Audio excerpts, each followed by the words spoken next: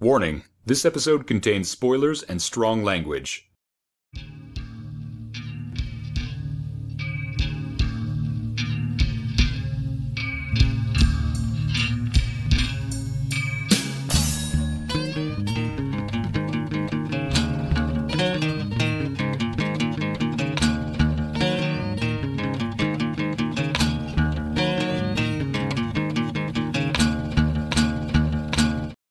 Welcome, everybody, to the latest episode of Johnographa. I am Noel. Joining me again is JD. Hey, Noel. We just discussed in our previous episode Rob Zombie's Halloween. Yes, we did. It should be no surprise to anyone what we're covering on this one. Rob Zombie's Halloween 2, which followed two years later on August 28th, 2009. I have to ask JD, is this a film that you had ever seen before? I have not. No. Neither have I, because I know when we covered his first Halloween on a Hail of Remakes, my reaction was much more intense back in the day, as we discussed on that previous recording. hmm So I had really no interest in seeing part two. I know Evie saw part two and told us about it. She was not a fan. We're going to be following again, same formula we did in the last episode. We're doing one recording session where we're watching Rob's director's cut, and then we're going to do a second recording session where we then watch the theatrical cut and we compare and contrast. What I will say up front, this isn't a case like the last film where he had his cut and then the studio did their cut. Rob had his cut of the film, and then the studio made him do a bunch of reshoots and changes, which then became the theatrical edition. And then, based on the reception of that edition, he then made a new director's cut where he did incorporate a few of the reshoot elements, but otherwise went back to his earlier cut. So this is not like the cut that came before the theatrical cut. This is a new director's cut that came after the theatrical cut that came after his original director's cut. Okay, I just went cross-eyed. Yes.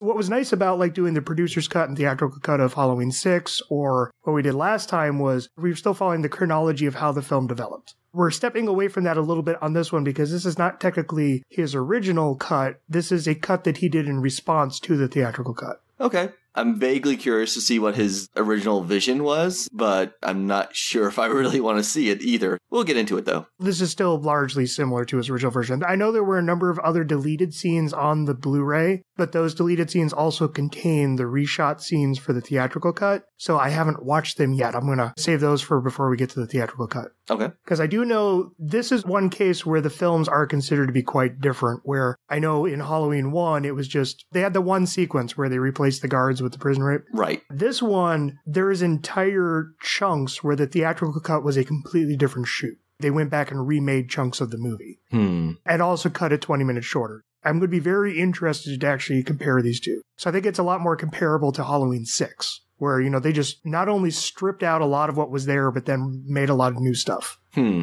I'll be curious to see what the differences are. So not a whole lot to add about the production history of this one. It was again produced by Dimension Films with the Weinstein brothers. Yep. Yep, and Rob Zombie was a producer on this one with his regular production partner Andy Gould, who again did a lot of Rob's movies, and Malek Akkad again as the executive producer of the broader franchise.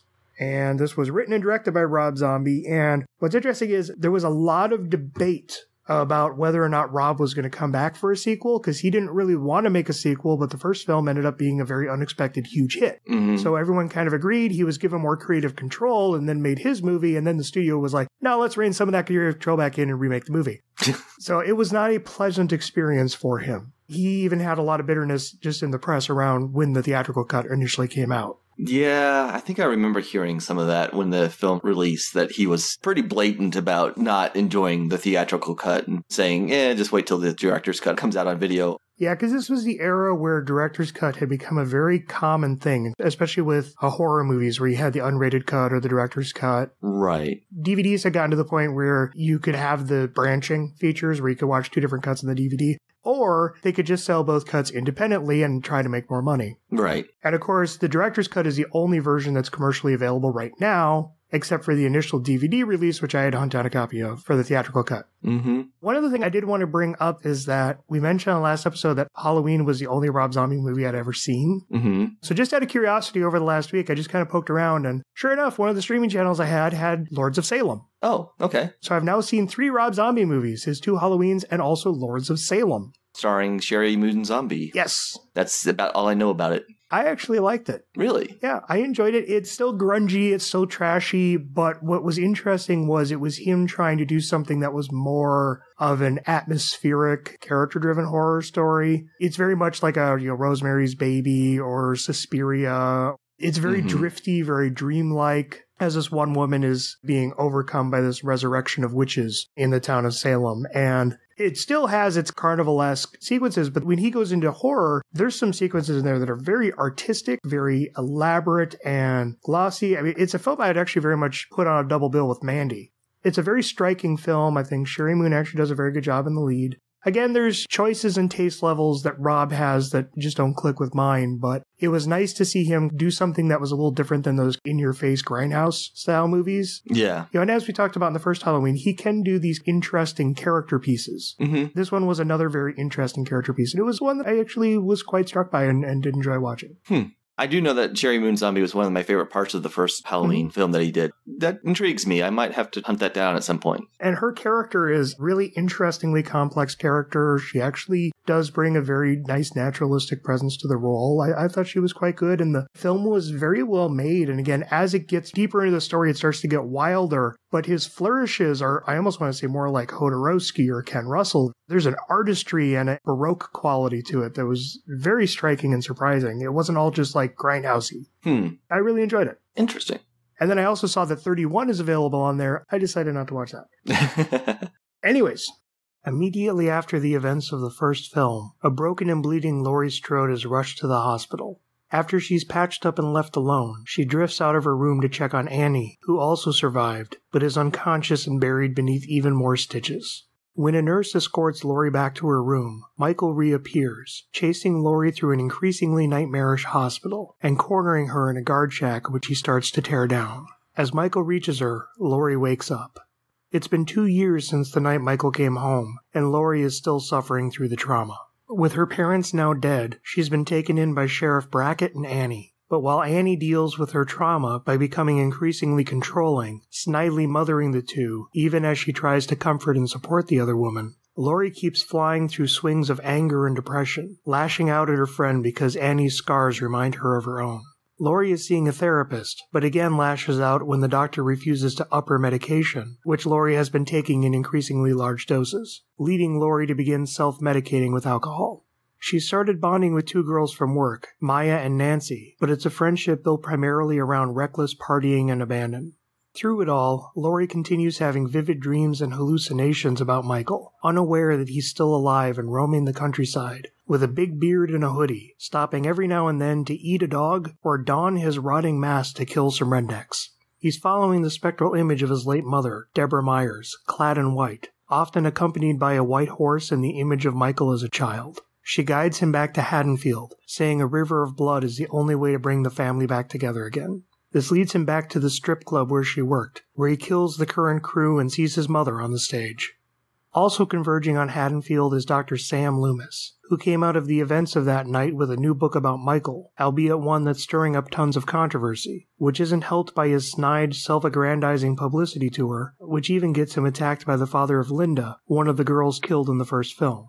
He promises big revelations from this book, and on the day it's published, Brackett is horrified to read that Loomis went public with the truth about Laurie's lineage, and that she's the sister of Michael, which even she still didn't know. He tries desperately to track Laurie down, but it's too late as she's also already read the book and now knows the truth. She storms out of the house after a fight with Annie and retreats into booze as Maya and Nancy bring her to a Halloween party. Nancy sneaks off for a fuck, which results in her being killed by Michael. Laurie returns home with Maya, continuing to vent until she goes upstairs and finds Annie, who has once again been viciously brutalized by Michael. Annie is still alive, but only for a moment, as she bleeds out in Laurie's arms before Michael again attacks, killing Maya and chasing Laurie out into the countryside. Sheriff Brackett gets the call and returns home, his troops failing to hold him back from the bloody sight of his dead daughter on the floor. Everything converges at a random shack in the woods. Michael is inside with Laurie, who's being pinned down by the vision of child Michael as she's now able to see the ghost of their mother.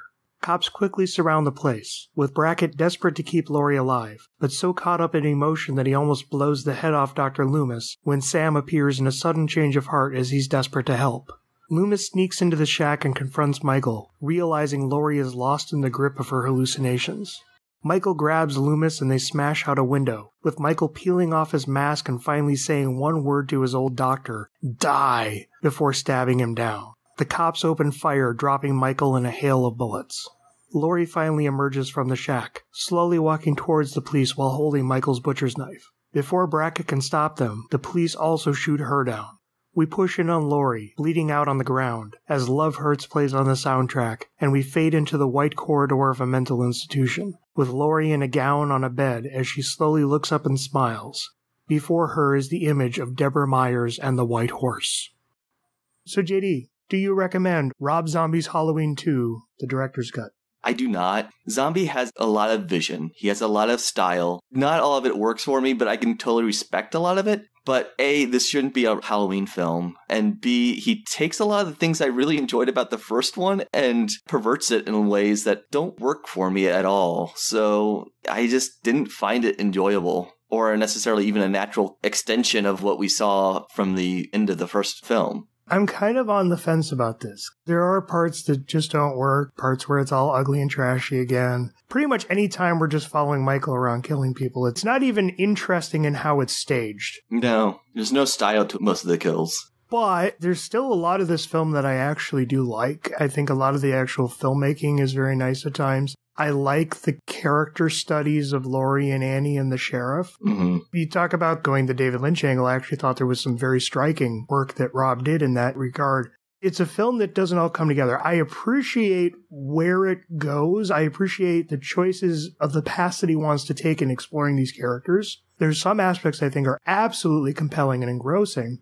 but it's very uneven because you can also feel the bits that feel like they're kind of shoehorned in like they have to be there. hmm And again, it's still building on a version of Michael that I just don't feel as compelled by. I actually found it a very intriguing experience to watch, especially on the heels of the first film, even though I still think it's a very messy movie. Let's see where I sit at the end of this discussion. I want to lean towards recommending it. Or I should say, I want to recommend it if you enjoyed the first film. hmm If you did not enjoy the first film, I don't think this is going to change your mind. Yeah, I think being in the middle on the first film in our last discussion kind of helps me be in the middle on this one too. right. Let's talk about Laurie. How do you feel about the way this story picks up on Laurie Strode, both kind of immediately after the first film and then when it cuts to a few years after? Well, immediately after we jump to a dream sequence, which is kind of a fuck you to the audience, I feel, to have a 25 minute dream sequence that it does show where Laurie's head is at. She's still dreaming about Michael coming after her, killing people around her, but it didn't have to be that long. But I do like that she is losing her mind. She's getting therapy, she's doing all this stuff, and she's just slipping further and further down. Kinda like Michael did in the original Rob Zombie's Halloween, Mhm. where you'd get moments where she seems like a normal girl, and then she gets emotional and upset and screaming and shouting at people She even has the line, it's like my rage just flies to a 100. Right. So I do appreciate the parallels there.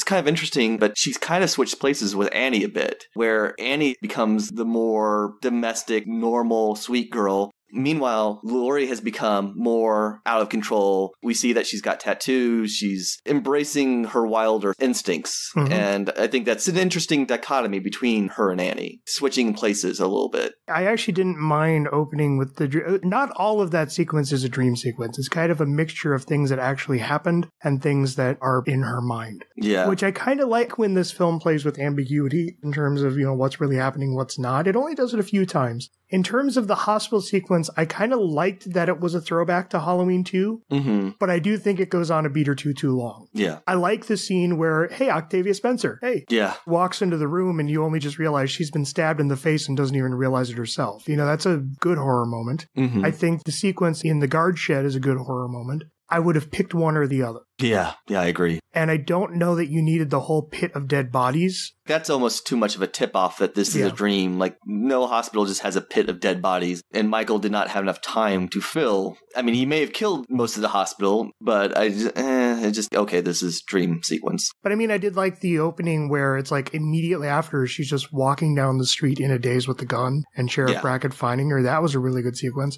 I don't know that the whole scene of her being taken into the hospital while in hysterics and being operated on is necessary and how it lingered, but it was a good. These are the immediate ramifications of having gone through an incident like she did. hmm Even in the dream, I like the bits where she's like hobbling down the hall to go see Annie. Scout Taylor Compton, I don't love everything she does in her performance in either movie, but I very much respect actors who give this much to their performances and are deeply committed to them. And she's really throwing herself around like that was actually her throwing herself down those stairs, you know, as she's skidding over them with the cast. hmm They said they had a stunt person, but she did it better than the stunt person. I do appreciate all the energy and emotion that she's giving to a lot of those sequences. So I do think the hospital sequence is well made, even if narratively it's overly drawn out. Right. And that's my problem with it. I think you either have Michael kill Octavia Spencer or he kills the Night Watchman. Yeah, and you could easily just have it as she's going down the stairs, it starts to descend into a surreality Yeah. and then end with her in the pit of bodies and then she wakes up or something Mhm. like that. Right as you're revealing the moment where it's so elaborate that it has to be a dream, that's when she wakes up. Right. instead of continuing to go on for another seven minutes.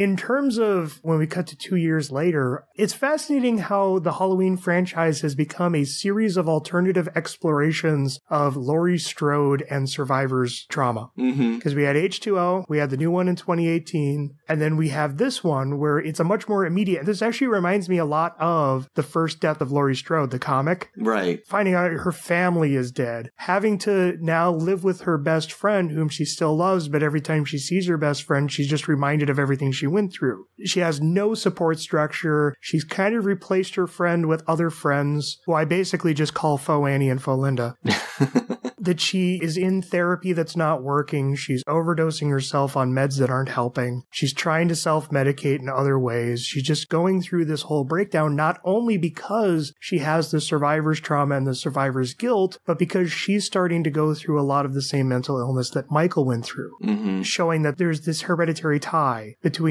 the situations that they're going through. It's very compelling. There's sequences studying Laurie that I think are fantastic. I think the dialogue can be a little rough, especially when she's just shouting swear words at everybody. Right. But I mean, like, Margot Kidder Yes. as her therapist was a really great surprise, not only because, hey, Margot Kidder, but those scenes were really well done. yeah. Great acting from both of them, really well put together sequences. What did you think of those? I was like, this is really cool. I work in the mental health field. I've seen people who mm-hmm. will look at their therapist and say, she's just here to get my money. And then other people who will walk out of an appointment with the same person say, that person is one of the most kindest, most understanding people in the world. Laurie is like, you only understand me for $100 an hour or something Yeah. like that. And you could just look at Margot Kidder and you could tell that's not the case. She really does care. But we're just at the point where she's not listening anymore. Right. She's just so desperate. She's begging for meds that she wants to numb the whole world so that way she's not feeling. And clearly, Margot Kidder does not feel that's healthy for her and that she needs to wean off that. We only get two scenes, I think, with Margot, and they both show a lot of insight to where Laurie is at this time. And I like that they're playing the frustration of the mood swings, where she'll just go from zero to a 100, where it's like she'll be having a really nice moment, and then one person says one thing, not even a bad thing, but they just say it in a way that triggers her emotional response, and it's just boom, she just flies off into this anger and this lashing out. And even then, as soon as she's through the moment, you can see that reaction to knowing that she just went too far, but she's already gone so far that she's pushed that person away. hmm Some of those sequences are really well done. Michael was a bit different, where he would just go from quiet to just super violent in more of a fantasy mental illness way. But I think hers is a much more realistic of that bipolar aspect where you can just flip. hmm Your emotional state can just instantly go from like happy to, ah, you know, rage. Right. Again, that she doesn't have the support structure that she needs, and she's trying to find it. She's trying to find it with her friend, but her friend is just reminding her of everything. She doesn't have any parents in her life. Her new friends are just their coworker buddies. I don't want to say they're not her real friends, but they're not people who really know her that deeply or that intimately. hmm And her psychiatrist is someone who genuinely wants to help, but there's always that cynical edge of, yes, but that's because I pay you. I really like character studies like this. Yeah. And we don't get slasher films that explore the fallout of not only being someone who survived this killer's onslaught, But then over the course of the movie, discovering that you yourself are related to that killer and are coming from the same place. And the journey you're going through is starting to mirror the journey that they went through. hmm I really like what we have here. I wished we could have gone even a little farther with that, especially once we get into the third act. Yeah, I think if we actually had less Michael and focused more on Laurie's Yeah. decompensating after she learns her parentage and her relation to Michael. And that's actually a twist that I found really surprising that you would think, you know, having gone through this whole situation that now she would know. But that kind of revelation that, oh, wait, she doesn't know? Oh, no, she's just learning this now? Oh, no. Right. I almost wish that that had just happened a little earlier in the story so we could have explored more of the fallout of that. and it kind of makes a certain amount of sense. Like the two people who would be aware would be Sheriff Brackett and Loomis, and Brackett is basically becomes like a second father to her. But he's a guardian of guilt because he feels responsible. Right, because he feels a responsibility, and Loomis, well, we'll talk about Loomis, but neither one of them are in a position to really share that with her. I like that you almost go into this movie expecting, oh yeah, she would know by now. But then the twist that, oh no, she doesn't is almost more horrifying because they don't really build up to it. It's like it just suddenly happens and then it's like, oh no, she didn't know that. Oh no. Again, we don't get enough, I think, exploration after that twist. We get her having a final lashing out with Annie and then going to the party with her friends. But by then, all of Michael's killings start to come into play. So Yeah. we don't get more exploration of her mental state after now processing what's gone on. But, you know, I think part of the story is that she's not given the opportunity to process, but Mhm. it still doesn't carry that thread far enough to feel like it satisfyingly explored it as well as it could have. Right. Where, again, if this film hadn't ended the way it does, I could see a part three that would pick up on that and try to sort through that, but we'll get to that later. hmm Annie, so what do you think about Danielle Harris's return as Annie? I really liked her in the first film. I mean, I've always liked Danielle Harris. She was the typical bitchy best friend, you know? Yeah, she was a little bit of a bitchy best friend. And I like that after her trauma, she switched roles with Laurie, where we mostly see her at home. She does get a little bitchy here and there, but it seems like her compensation is that she's a less adventurous. She's grown up. Yeah, she's grown up. She's more cautious. You know, she was attacked while she was having sex with her boyfriend. Well, in the way that she was found by her father in the first one. Right. You know, that doesn't seem like a stretch to have her go down that route where maybe she might be dressed a little bit more conservatively, but she's still the same character. She's not all of a sudden a goody two shoes. It's an interesting evolution of the character. And Danielle Harris does a great job, like way more acting meat for her to chew on than she had in the first film. Yeah, and I think that's where you have the interesting contrast of the two survivors. That's where, again, I was very interested that they kept her alive in the first film. hmm And I like that because you have the contrasting survivors. She's someone who has pretty much already processed what happened to her and is now trying to move on with her life and has grown from it. And Laurie's still struggling to even process it. Yeah. Some people move forward, some people just get stuck by it. And I like that contrast. But then also because they went through this basically together, you would think that would bring them together as a support structure, but all they do is end up continuing to hurt each other because all they do is remind each other of the trauma that they went through. Right. I'm finding that Rob Zombie is a very intelligent storyteller in terms of characters. hmm He really does dig deep into the characters and the emotions, how to build a story out of that. As I said, Lords of Salem is even more character driven. And I think he is incredibly compelling at that work. And I'd love to see him do some more work that's focused more on character driven stories. I know he's long wanted to do a biopic of the Marx Brothers. Let him. Yes, I can see that. Let him. You don't usually get something this emotionally complex in a slasher film sequel. And I always appreciate it when we occasionally do. Again, like with Jamie Lee Curtis in H2O. hmm I really appreciate it. I thought the actors really brought some interesting performances. And two things about Annie. One thing, I almost like that in terms of attitude and writing, she almost feels a little more like the Annie from the original 78 film. She's got that kind of Nancy Loomis ass to her. hmm That always makes me love Nancy Loomis in her roles. She does still feel like an evolution of the character from the first film. I just think her writing is a lot better in this one. Yeah. I like that she still has that attitude. Annie's always had the attitude. Yeah. But even as she's growing and trying to help everyone move on, she's still going to give you shit and not take your shit. Oh yeah, like when her dad sends the deputy to her house to watch over, and she doesn't want that guy there. I even love the deputy's line of like, please don't send me there again, boss.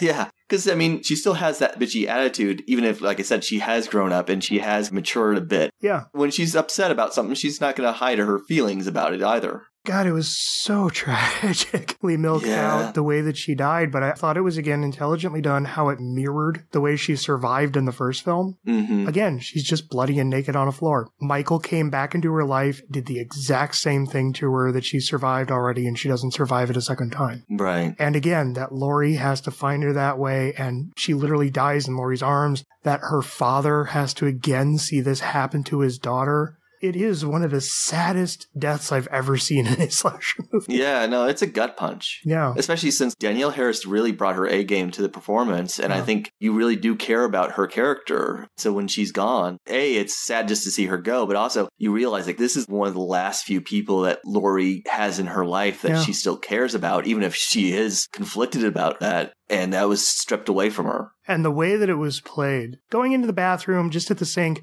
we see Michael in the foreground and she doesn't even notice. And then just out of the corner of her eye, she looks over and you just see that process on her face of, oh no, he's here again. hmm And she runs and then we don't see the actual, we, I mean, we get these little flashes later on when Laurie comes back to her home and the scene of the crime. Just the whole final scene between her and Annie is Annie is just bleeding out. And Laurie's just like, don't leave me. Don't leave me.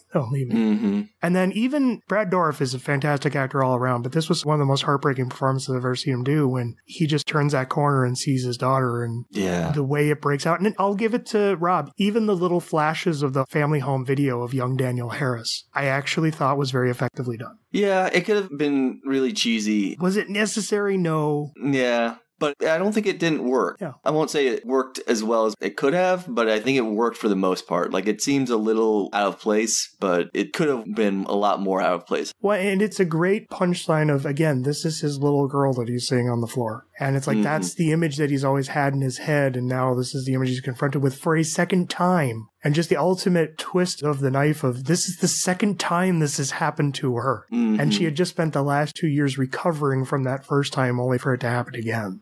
It's cruel, but I like that it doesn't feel like it's reveling in the cruelness of it. It's, I don't want to say wallowing or reveling. It's allowing the tragedy of it to fully play out. Right. It's less focusing on the cruelty and more focusing on how that affects the characters. So we see Brad Dourif and Annie both react to this horrible, horrible act. And even though, yes, she is laying naked on the floor, it never felt exploitative. No, compared to the first film, I mean, there is a scene that we'll talk about Oh, yeah. that seems a lot more exploitative, but this didn't feel like that. No, it again was focused on the tragedy of the moments, the horror of what happened to her. And I was, again, very impressed by the filmmaking. hmm I wish that more of the deaths in this movie had that level of impact. Yeah. But again, her being a fellow survivor, it's a terrible fate to go on, but the way in which it was explored was very effective and very well done. So, anything else you want to add about Sheriff Brackett? Brad Dourif does a great job. He's not given as much to do here other than that one scene where he's really just reacting to Annie's death. He's acting like a dad to both Annie and Laurie, which I did appreciate that, but he's given less plot stuff to do, I think. What was interesting about going into the whole Annie Laurie thing, Annie's almost grown up to the point now where she's almost trying to take care of her dad. Mm-hmm. Like he's almost her kid. Yeah, we all get to that point. Yeah, where she says, You're going to go eat a pastry for breakfast. 500 calories, yeah. Yeah, And she's trying to go the healthy food route, and he's just kind of like, I want my pizza and donuts. yeah. But I like that it's a very loving confrontation between the two. Yeah, they're giving each other crap. They're not actually lashing out. Right. It's a very loving relationship still. And Laurie is kind of the odd fixture in that where it's like you can see that he's trying to again help her and protect her and give her place, but it's not his daughter. He still can't connect with her. Right. It feels like he still never really found that way to connect to her. She's still his daughter's friend and this person that he has this whole secret history with. Right. I mean, yeah, I love those moments where building up to the revelation of her being Michael's sister, where he sees the interview with Loomis and we don't know quite how to read his reaction until I watch the movie a second time. And it's like, that's when he's starting to get his suspicions. He's like, oh no, is he going to tell? Is he going to tell? And then when he actually reads the book and just his anger that Loomis spilled that secret out Mhm. about her relationship with Michael. And that his first thought is, where's Laurie? I need to talk to Laurie. We need to find Laurie. But he never gets to have that moment where he actually gets to talk to Laurie about what happened. And there's again that tragedy. Right. He is the ultimate tragic figure of this movie.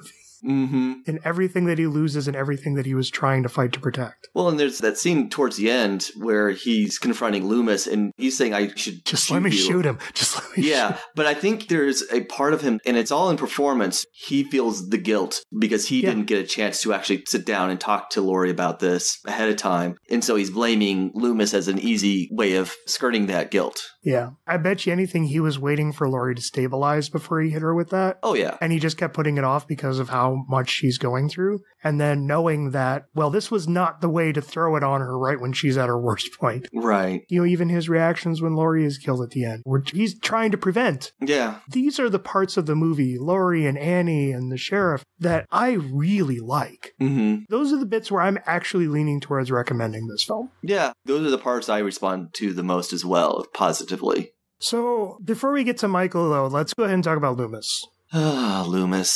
You were like my favorite part of the first film. I know, right? And I do think there is character reason for him to become this glossy, all about money and image and all that stuff. He says, like, that's the old Loomis. This is the new Loomis. Like, he's trying to not be that guy anymore. I think he is running from being the guy who is partially responsible, at least to some people's minds, for Michael's actions. And I think that's an interesting take. The unfortunate part is I don't think it's set up well enough to really do anything other than just make Loomis look like a giant jerk for 99% of the film. I get where he's coming from, but it feels like such a cynical way in which it's played that we don't feel enough of the character in the first film beneath this that it feels too much like a different character. hmm And again, in the very end of the movie, when they have him suddenly rush onto the scene and try to save everything, it just, it's like too little too late. You did not earn this. You did not earn having No. him be a part of that. All you needed to do was have like a couple moments throughout the film where you see a beat of the old Loomis where he shows he does actually care. And this is all just a front he's putting on to escape from those feelings of being that guy. Yeah. And they just don't do it. Too much of his stuff is played as comedy. Yeah. where it's like just him flirting with the reporters and running around with the book publicist who's like, Really? Are we really doing this? He's become such a roaring asshole. And to be fair, it's basically Malcolm McDowell playing himself.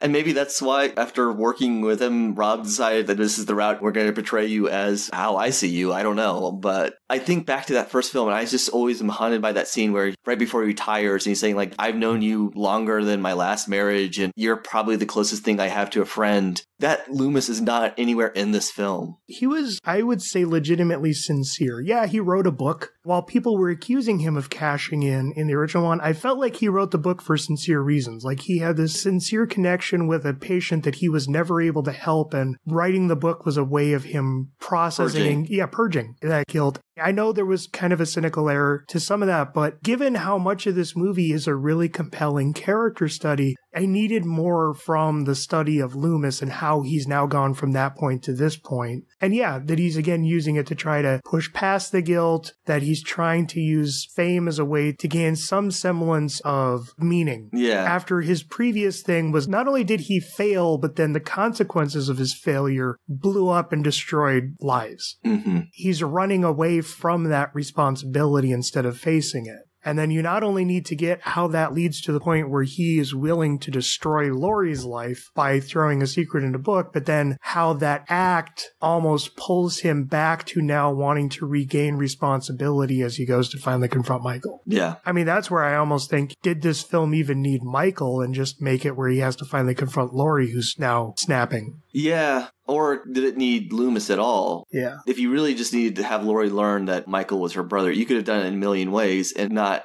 I don't want to say character assassinate, but in a way, this character who in the first film was one of my highlights. And then this one, other than maybe comedy beats, it doesn't really seem to serve a No. whole lot of purpose up until the very end. And even that doesn't really seem necessary. They could have have Loomis die in the original film, like it was implied in the theatrical cut, and not ruin this character that I genuinely enjoyed. Yeah, and it's like every time he's confronted with something, he just has like a flippant way of dismissing it instead of seeing that it's actually affecting him. Right. When the reporters bring up things during the press conference, when the dad of Linda Yeah. comes back into the story and pulls a gun on him, which I thought was really surprising, but again, it just didn't end very well. Then we also get the whole talk show Hey, did you know that the best character in this film is going to be Weird Al Yankovic? Yeah, Because it's hard not to love Weird Al. that was so bad. And I'm trying to remember what what was the Nerdist guy's name? Chris Chris Hardwick. Chris Hardwick. Yeah, yeah, yeah. I've cooled on over the years, but yeah, I know him and Rob were actually friends because he was one Oh, of the yeah. actors in House of a Thousand Corpses. Yep. And he's brought Rob on the podcast a couple times when he was still doing Nerdist. Mhm. Back when I listened to Chris Hardwick. So, what do you think about Michael, Um, or should I say Jason? yeah, it's not Michael. No, Jason was the one who was obsessed with his mother.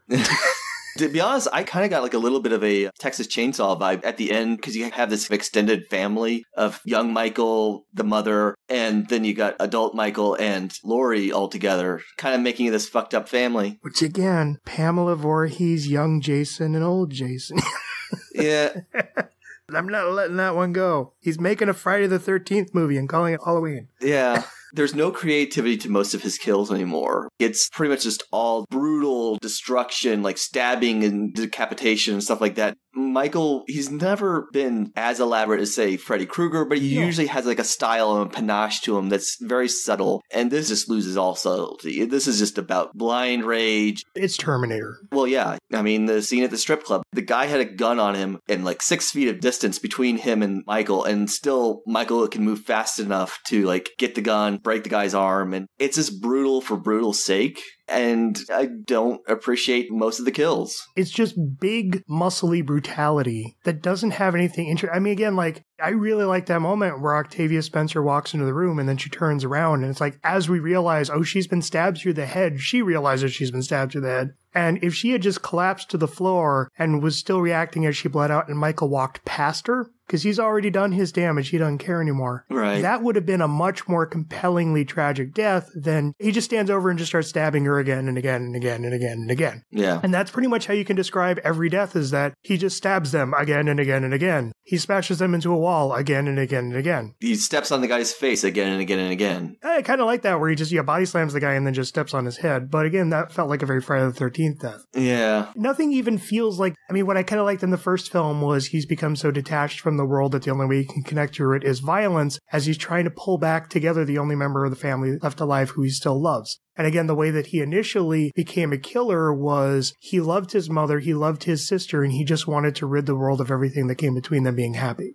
It felt like there was that drive. And here they're trying to speak to that where he has the vision of the mom saying, it'll take a river of blood to bring us all back together again. But it's like, no, that doesn't feel like that's playing out in terms of how the actual story is going. Mm-hmm. What if it's he realized that his sister doesn't recognize him? What if he can connect through her by her committing violence? Yeah. we do have this mirroring of how Laurie is struggling with how Michael began to deteriorate and struggle, but we never have Laurie having that one moment where she finally snaps and commits a violent act. Right. Again, if we're going to talk about these two characters coming together, what if it's the brother and sister finally reuniting through the committing of violence? Mm-hmm. You know, if you're going to bring Michael into the story, I think that would be the way to do it. I still don't think this is a movie that needed Michael. You could have just left Michael dead and have it be the story of Laurie's deterioration into becoming the new Michael. Yeah, to be honest, I half expected, especially after the dream sequence, that that Yeah. might be the route they're going to go, where she sees Michael doing all these terrible things, but it may be actually her doing it and her disassociating.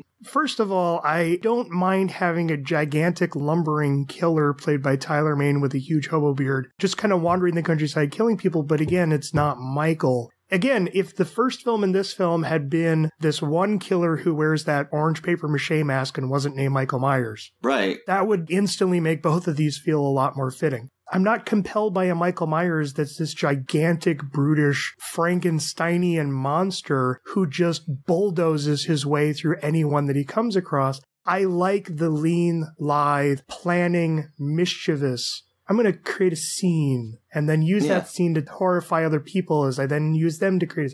While I think you went too far, the Stephen Hutchinson Michael Myers was so much more compelling. I'm just not compelled by Michael Myers being this gigantic Tyler Mane in a hoodie. No. I don't think it's a bad visual, but it's just not interesting. And then none of the scenes built around it are interesting. Mm-mm. Like, what did you think about the farmers who just randomly come across him and then he kills them? Yeah, it seemed pointless. It seemed like because we hadn't had a kill in a while, we had to pad the body count. Mm-hmm. Same thing with the strip club, though that was far more exploitive and gross. Yeah, because we have the owner of the strip club, we have the guy who works there who gets his head stomped in, and then we have have a nude stripper for the entirety of her death. I'm of two minds. One, I do think it was cheaply exploitative. I think there was really no reason to have this woman run around naked as she gets her head bashed in. And ultimately, there's really no payoff to Michael confronting the strip club that his mother worked at. On the other, I like the setup of Michael confronting the strip club where his mother worked at. I really like the actors who are playing the owner and the stripper and think their scenes together are really funny. Mm-hmm. I was actually surprised by, given the fact that she's naked, you don't really see that much of her, the way that it's framed and the way that she's posed. No, compared to the first one. Oh, yeah, the first one, it's like he would hold them in full frame and, you know, they're all over the place. Right. This one, it's still exploitive. It still feels a little gross, at least compared to, like, say, Annie's death in this film, but it doesn't feel as bad as the first film. So I guess points for that. I also like that the owner and the stripper were actually not that bad of people. No. they actually seemed like they were in a really kind of fun, consenting relationship. They were legitimately having a fun time together, Mhm. you know, especially when he pulls on the Frankenstein mask. I actually really like the scene where he's playing Frankenstein out in the park, too, you know. Yeah. He's an actor that I've seen for years and I have always enjoyed.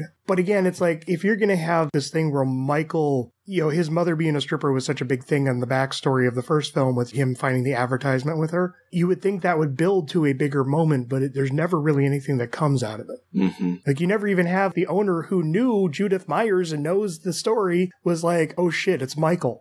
Right. Because he was in the first movie. It was a very brief scene as he was walking Judith out to her car, but it's the same actor. I wondered if that was the same actor. Yeah, okay. He had a longer scene that was cut out of the first movie. I wondered about that because when you see that flash in the first film, He feels like a character there should be more about. yeah, I was gonna say he looks like a Rob Zombie character that would have like a five minute scene. Yeah. So I wondered if that was the same guy. Well, and then what's funny is the guy who gets his head stomped is actually playing two roles in this movie. He's also the guy at the party that Laurie goes to, who's kind of like the bad comedian up on stage. Oh, He's a friend of Rob, and he's also one of the co-stars of Lords of Salem and appears in a lot of the other Rob movies. I get the impression that Rob seems to have two minds when he casts people. It's either friends or people who he really likes a lot. People who starred in movies that he liked when he was young. Yeah, a lot of these guys are people you don't see in that many roles anymore, and he seems to be throwing a bone to them, and I, I appreciate Which is a quality I like, yeah. I actually like seeing actors I recognize that I haven't seen in a while. Boy, if you're a Meg Foster fan, you're going to be surprised by Lords of Salem. okay.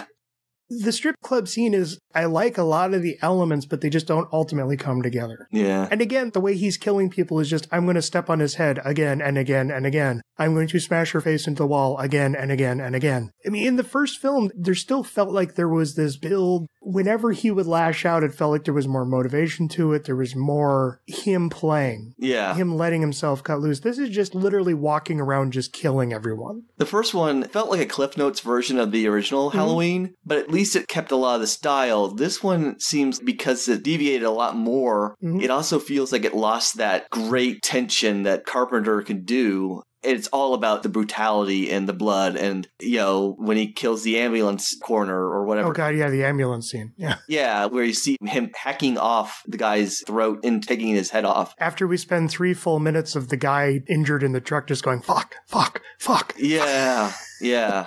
It wallows in the unpleasantness a lot more than what any of the other films in the continuity did. What did you think about the visions of his mother, young Michael, and the White Horse? This is where the David Lynchian mm-hmm. vibes come in. It seems he has something to say, but he's like, I don't want to be too blatant about it, but it doesn't feel as clever as I think it should. It's wearing its intentions on its sleeve in terms of Yeah. explaining Michael's mindset. Yeah, like it's, oh, we're going to be a family again. So we have young Michael and mom. That's fine, I guess, but it doesn't really make it feel any deeper. It just, like you said, it over explains what's going on. Yeah, and it's one of those things, given the character studies that this film has, it doesn't feel like it's succeeding in giving Michael a study. It's just Right. him doing a bunch of horror sequences and then having visions of people telling him what his character study should be, instead of actually just seeing this study of he had this one mission, this one goal to find his sister and reconnect with her, and he failed at it. Now he's just kind of wandering around, not quite knowing what to do. But then as she starts going down the same path, he's almost drawn back towards her, as he could almost find this new way to connect with her. That would have been the way to go. Instead, it's just, Michael, keep killing people. The more people you kill, the more you will be whole again. It doesn't even make sense as a character drive. No. And again, you know, I've actually become quite a fan of Sheri Moon Zombie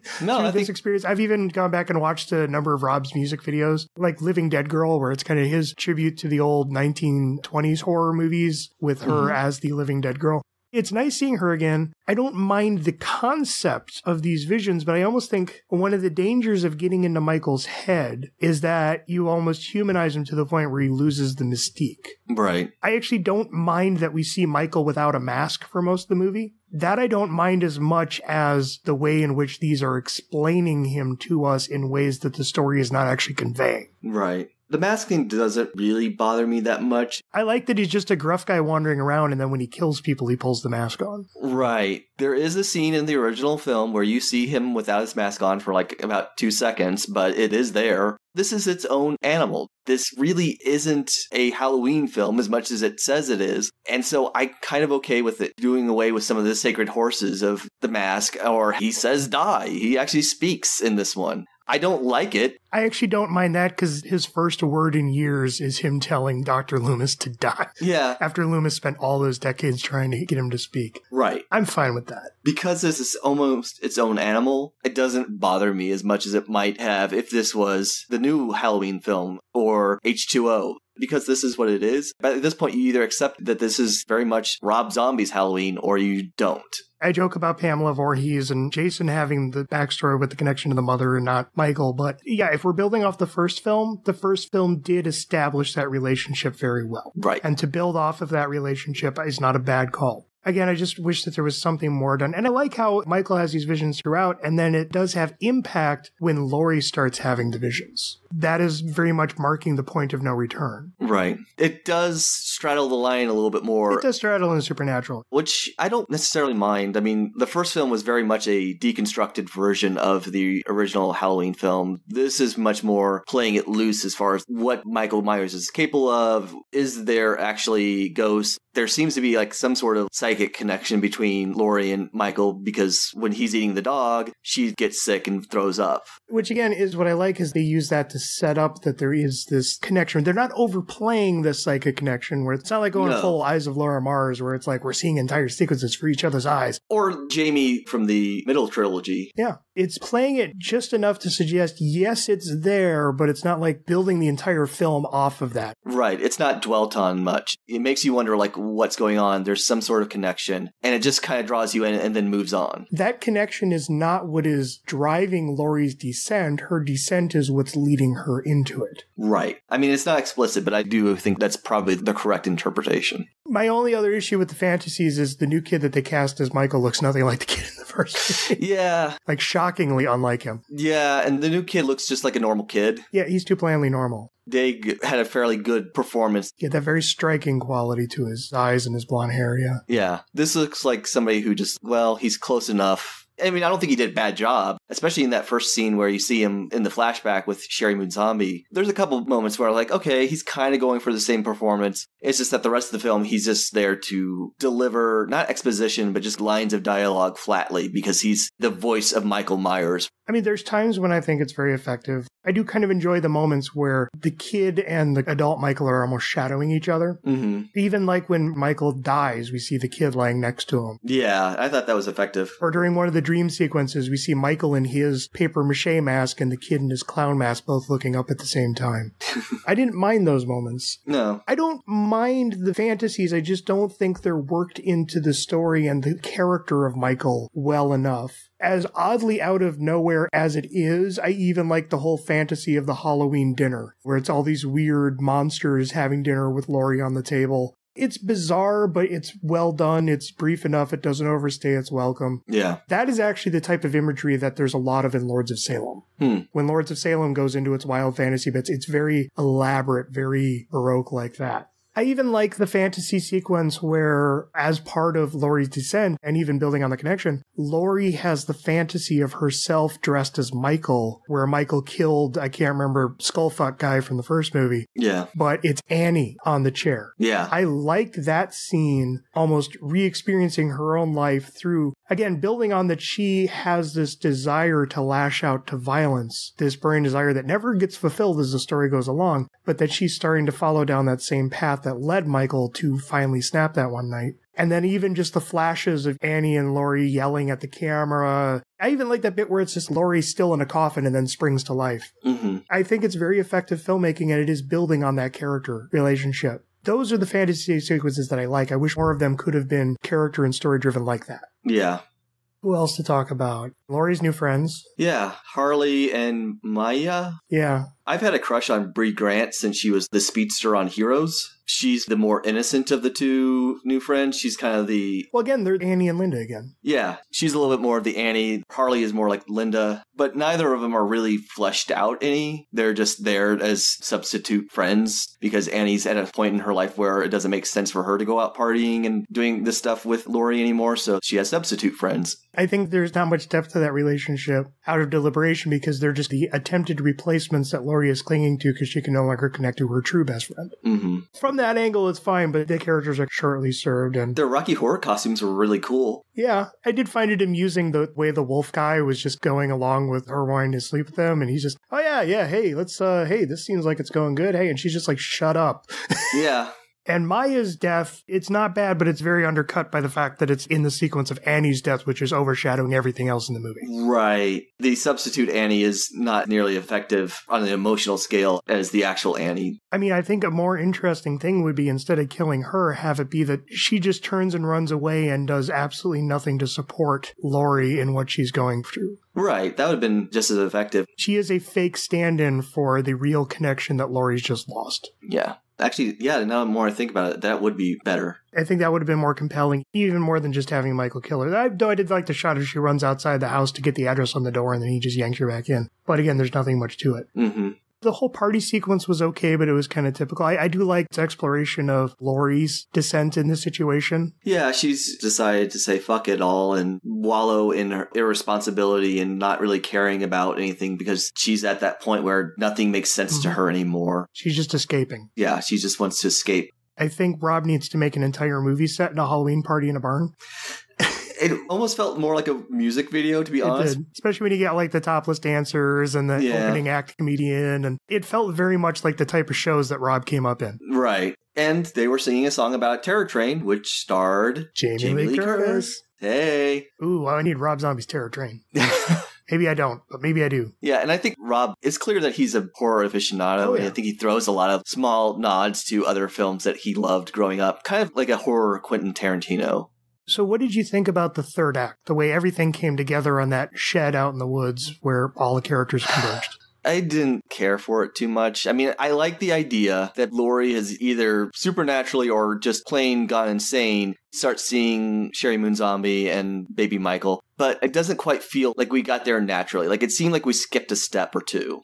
And then Loomis' self sacrifice didn't play to me either, because like I said, he's only been an asshole the entire film. Then the sheriff shoot Laurie, and yeah, she picked up a knife, which is definitely a cause to keep your weapons ready, but not necessarily a reason to shoot a girl with a knife who's nowhere near anyone else. It's a sequence where it had to pull everything together, and there's a lot that it's trying to do, but he didn't figure out how to sort it all out, so it's just kind of a mess. Yeah, The most compelling bit is Sheriff Brackett being unable to save Laurie after having lost Annie, too. mm-hmm. Loomis being present is not something that they even built up to successfully. No. And it doesn't even make sense because he was filming that scene because we get a timeline. We know what every day, like it's only been like a day, and he filmed that scene. Maybe he's filmed it in Chicago and he could Well, drive we to. know he's in Haddonfield because remember he did the publicity shoot in front of the Myers house. Right, and then he's in a limousine, and he somehow he's in a TV studio with Weird Al and Oh, Chris fuck, Hardwick. that's right. Yeah, he did film that afterwards. The timeline doesn't really make No. sense unless he filmed that maybe in Chicago. You know, I would, instead of him doing the press lecture that goes wrong, have the Mhm. talk show be earlier there, and the story is him drifting back towards Haddonfield while Michael is drifting back towards Haddonfield. While Laurie has refused to escape this place that keeps reminding her of everything she went through. Again, this is the point where all points converge. And the Loomis thread is just such a mess that I don't buy that convergence. No. And even then, the third act needed to have Laurie kill in order to take that final step. Again, like look at Jamie in Halloween 4, how you had that sudden twist end where she stabbed her adoptive mother with the scissors Mhm. and became almost potentially the new Michael before they went in a different direction with part 5. Laurie should have killed Loomis. Yeah. And Michael should have handed her the knife. Yeah. To be honest, I thought that was where they're going. Yeah. But the way they do it is they have Michael play suicide by cop. Yeah, Michael and Loomis burst through the wall. He takes off his mask, says to Loomis, die, stabs him, and then gets gunned down by cop. It's Right. just not an interesting sequence. And because Rob doesn't trust the audience to follow what's going along, he has Sheri Moon Zombie say, it's time to go home now. So we know like both Laurie and Michael are killing themselves in order to be reunited as a family. And it's just not played skillfully enough to be satisfying. Loomis needed to be the victim in the finale. He needed to be the one who ultimately died in the finale. But if they had killed him and then the police are confronted by this image of Michael and Laurie walking out holding hands or something like that, and she has the knife in the other or something like that, and both kicking down. Yeah. I'm trying to think of how better to stage that moment. And why is it a random cabin in the woods? Why isn't it the Myers house? Yeah. They really need to work out how they stage that sequence because it's just, it's a mess. The whole Laurie being held down by the image of young Michael as Loomis is saying, no, it's all in your head. Oh, it's almost a little more Donald Pleasancy. hmm God, imagine Donald Pleasence in that sequence. It's all in your head, Laurie, the evil. That's ultimately where I'm kind of on the fence because there's a lot of this film that I really like. There's specific threads that I don't. And I don't think things ultimately come together in the climax. And did you need to kill Laurie even if she does take that turn? Or could you have explored her in another movie? I guess we'll talk about that next time. But yeah, I think if you had made it more explicit that she kills Loomis, she's gunned down, but she survives and she becomes the new Michael. We've seen that in the comics. We've discussed that. It seems that was a route that several people have had that idea for. So I could see it. But I know the way the Akkad contracts work is you have to have Michael in every film. Right. They've never really been able to explore a story where here is someone now becoming the next Michael, the legacy Michael. Yeah. Again, Halloween 5 would have been great had they gone that route. Right. There's been films where you could play it like an actress is wearing padding or something like that, and that way she can look more like a guy in drag, No, essentially. I, I would not go that route at all. I would just have it be Scout Taylor Compton wearing a different mask that still represents. I mean, again, this is where if this had been its own movie with that orange paper mache pumpkin mask, Mhm. you know, I think the Michael Myers mask is way too big for her, but there's no reason a killer needs to be big. No, when I said padding, I just meant like you could have it as a surprise. Like, you know, you just have Michael killing people. Oh, you mean like when they had Laurie Strode turn out to be Michael in the Chaos Comics one? Yeah. And I'm just trying to think of what ways they could go, and none of them are really satisfying because, to be honest, I think at this point I'm starting to reach peak Halloween saturation. So I got three more to go. yeah, I know. Four more, including the next cut. Yeah, there's still things I find interesting about it. I'm not saying that we've hit the limit, but it is starting to get to the point where some of it's starting to feel familiar to things that we've seen, like either in the comic books or in some of the scripts that we've read, or some of the past movies have kind of touched on, like Jamie Strode being set up as a potential new Michael, and then that not being the case. They keep going through these similar iterations, but none of them are really landing correctly. Right. My thing is, I'm fascinated by seeing all those variances because, yeah, this film references Halloween 2, it references H2O, it references Halloween's 4 and 5. It does do similar threads, but it does them in very interesting ways. And again, that's where I don't mind that the new Halloween is almost an alternative H2O because it finds a different way to tell that story. hmm And this one is itself a variation on that. I'm fine with that. It's frustrating, yeah, seeing that multiple times certain threads are explored and yet no one's been able to pull some of those off. Like someone becoming the next Michael or the next line of the shape. hmm It's frustrating seeing them toy with that idea and then never being allowed to explore it. Yeah. I actually did like the final bit where, again, again, Love Hurts comes on the theme, which I think got more play in this movie than the Halloween theme did. Yeah. Love Hurts comes on as we push in on the dying Laurie Strode, and then she has the fantasy of herself in the white corridor asylum room. She has that one brief smile at the camera, and then we see what she's seeing, and it's Judith and the horse. hmm And I mean, if you wanted to, you could play that she did survive and she's now in an asylum. if you wanted to. I know that wasn't Rob on the commentary is like, no, she's dead. This was not meant to be ambiguous. She's dead. That's just what she's seeing as she dies. And I'm like, yeah, but if you wanted to. Yeah, it's leaving it open enough that if they wanted to bring her back for a third film, I think by the time he was done filming this film, I think he was kind of done with the franchise. Oh, yeah, Rob was done, but I mean, that doesn't mean other people can't pick up on it. Right, I was going to say, but it leaves it open enough that somebody else could take that and go a different direction than what he intended. That's where I'm going to be very, very curious to get to that Todd Farmer, Patrick Lussier Halloween 3D I want to know how much they're actually picking up on the Rob Zombie films and how much they're retconning around it. Yeah, yeah, it'll be interesting. But that's another episode. So I'm trying to think if there's anything else to bring. I mean, like we mentioned that the Halloween theme is not really in the movie until the end credits. I don't think the film doesn't work for that because I still think it's a good score. It's an effective atmospheric score. It does still have these nice little sudden stab of a piano clink that kind of echo the John Carpenter original, mm-hmm. where you just get this sudden like bum, bum, bum, very much like what he used to do. So I'm yeah. fine with that. Yeah, I didn't have any problem with the score at all. It's not as iconic as Halloween, but most films are not that way. This is an entirely effective but not necessarily noteworthy score. Any final thoughts on the film itself? No, I think we've said it all. I'm not satisfied with it. I think there's a lot of potential there. I think Rob Zombie, if he gets away from his more juvenile instincts of brutality, I think he could be a really good filmmaker. I think he is a really good filmmaker. Oh, yeah. It's just that the films that he's making are not really my thing. But I do think, like you were saying about the Marx Brothers film, I would totally watch him do a biofilm of all that stuff. I mean, I love the Marx Brothers and I would trust him because I do think he's got a lot of good film instincts yeah. in him. It's just that, especially with something like this, he's allowed to indulge a little bit more with baser instincts that I think are distracting and I think don't always serve the story as effectively as they could. As long as he enjoys making horror movies, let him keep making horror movies. But I would love to just see him do more things. Yeah. I would love to see a Rob Zombie screwball comedy.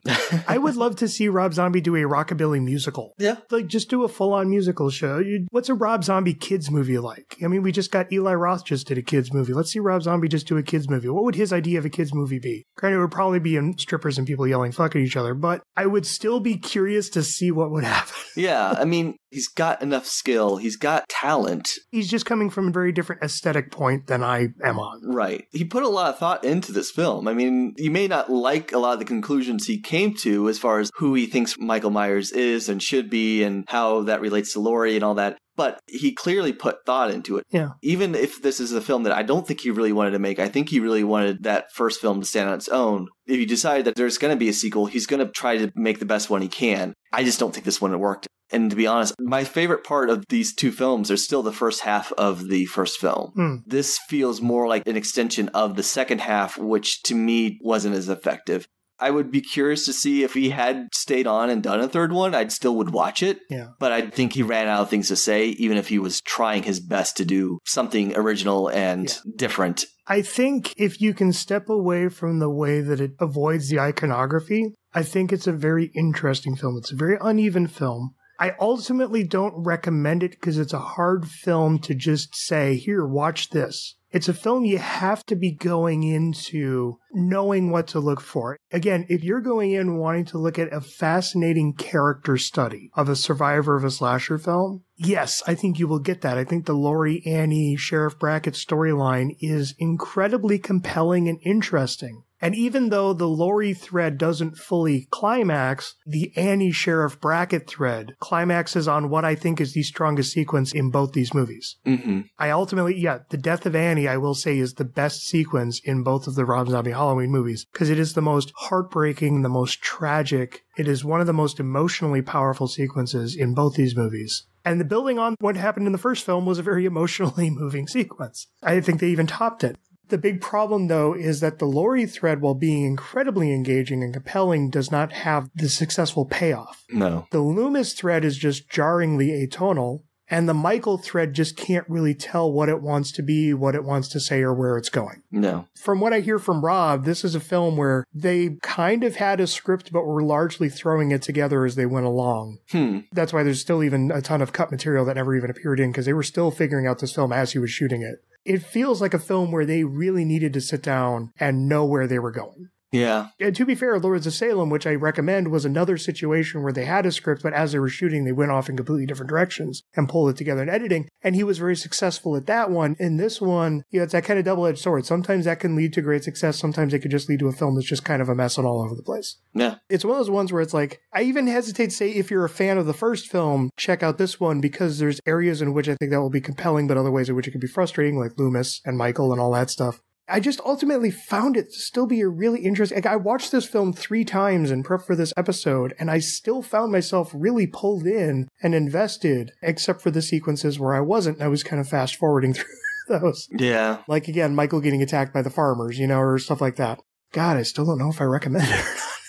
I really enjoyed that I finally saw this film because there's a lot more to chew on there than I expected there to be. hmm I mean, it's kind of a meek recommend. There's a lot of problems, but what it does right, it does very, very well. So that's where I'm ultimately going to kind of recommend it. Fair enough. Just because I don't like it, I can totally see the points you're making. Yeah. I think there are really strong aspects to this film. It's just ultimately, it's not my aesthetic. And I Oh, yeah. think the parts that bug me really turned me off a lot more than it needed to. If you had brought back the Loomis of the last film, I think I would actually be closer to where you're at. I don't think it would have fixed the film, but I think it would have made me Yeah. feel a lot more like, okay, there are things I enjoy. The Loomis thread needed to really be cleaned up. The Michael thread needed motivation. And the climax needed to more successfully pull everything together. Yeah. And those are its biggest faults. And those are big faults. Yeah. admittedly. And even just beyond the character thread, just the performances of Danielle Harris and Scout Taylor Compton and Brad Dourif and Margot Kidder. Yeah. those really made those threads incredibly compelling to me. Boy, after all the years that we procrastinated on covering the Rob Zombie Halloween movies, because, you know, we've been off and on on, hey, JD, you want to do these with me? Not really. For years, years, even while we were still doing the original Carpentry run. I was struggling to be like, how am I going to do the Rob Zombie movies? I don't want to force anyone to watch these with me. I was like, I don't even want to watch them. Yeah. That I came to the first film more at peace with it than I was previously. And that this second film, while it's a mess, had aspects that I was really grabbed by and really moved by. It was a surprise to me. Yeah. And then even between these two films, watching Lords of Salem and seeing a little bit more of Rob Zombie's range as a storyteller and as a writer and director. I appreciate Rob. I appreciate his talents. I appreciate the stories he's telling, even if I'm not always enjoying the ways he tells them or his aesthetic or his taste. Well said. Yes. I agree. So we'll be back with the theatrical cut of Rob Zombie's Halloween 2. It'll be shorter. It will be shorter. Yes. I'm going to be very fascinated to see how that turns out. Me too. So, anyways, we'll be back after the beat. Beep. So, everybody, Noel and JD here. We're back, having now seen the theatrical cut of Rob Zombie's Halloween 2. We'll get into some of the differences coming up, but JD, just in general, what did you think about this cut? I was really looking forward to this version just because I knew it was going to be shorter and I really didn't care for the director's cut. And I thought, well, it might cut down a lot of the zombie flourishes. I actually feel like this is a compromised vision and it feels like that. A lot of the stuff that was cut out was the good bits of personality. This feels like something that was quickly rushed out and lost a lot of the vibe that I can feel Zombie's passion in the director's cut that I really don't feel here. Yeah, I agree. With even the director's cut, you could feel the unevenness of here's the bits that Rob really loves and really wanted to explore, and here's the bits that Rob threw in there because it was expected of him. Mm-hmm. And unfortunately, this cuts out all the really interesting stuff, or at least cuts it down to a point where it loses a lot of the complexity, a lot of the emotion, Mm-hmm. and it leaves in all of the stuff that I wish that they would have cut out. Yeah.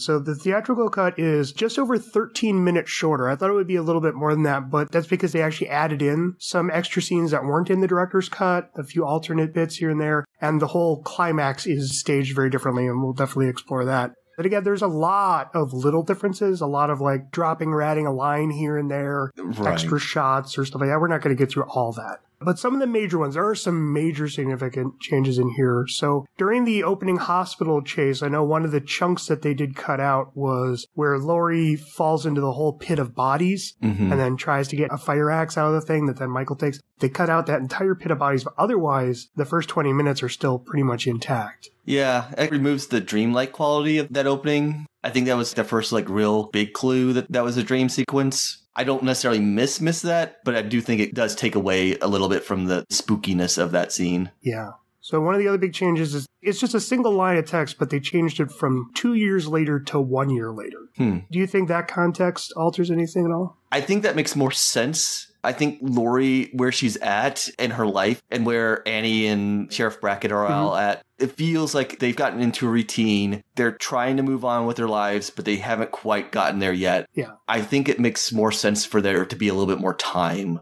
A year later, after such a horrific event, they'd still be pretty raw. This Yeah. is them coming to grips with it a little bit, but still not being settled yet. Right. I, I kind of like some of those other references, like when was with a therapist about talk about how, you know, it's that time of year again, and this always kind of happens around Halloween, or when the one guy is told to go protect Annie, where it's like, God, remember what happened when I did that last year? Yeah, that makes sense. I like that sense that some time has gone by, even as these people are still being affected by this. hmm I think one year later is a little too immediate. It's too little time for all those scars to have healed, both physically and mentally, and for the people to Right. Still be stuck dealing with those scars. Yeah. And for like Loomis to write a book Yeah. and to get it published, in two years makes a lot more sense just logically. Getting into the biggest chunk of this, let me just run through all this. A lot of it is cut out of Laurie's relationship with Annie and discussions with the psychiatrist. So they basically remove everything negative about that relationship. So it's Laurie complaining about the psychiatrist, snapping at Annie, who snaps back about knowing exactly what she's been through, the psychiatrist talking about helping Laurie's brain to heal, Laurie talking about her resentment when she sees Annie's scars and worrying about being sent away, Annie being tired of always having to be the one to support Laurie, Laurie abusing her medication, Laurie starting to self medicate with alcohol, Laurie ranting about the pig and seeing Frankenstein in the park, and asking for additional medication and lashing out when the psychiatrist refuses.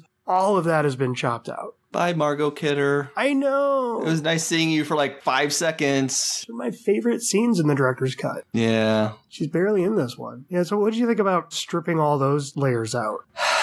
Again, it compromises what Zombie was going for. Now, you can argue with the merits and flaws of that, but he at least had an idea like Laurie, whether it's biological or mystical or just because she has lived this messed up life, was drifting this way even before Michael sets a foot in the Haddonfield, where she's had these issues and recovering from such a horrible event in her life, watching her adopted parents die, her best friend die, her other best friend nearly die. It makes sense that she would be raw and emotional and on the bloody edge. There's a part of her that's getting into a sense of normalcy, but she's still very much damaged and hurt Yes. from that event.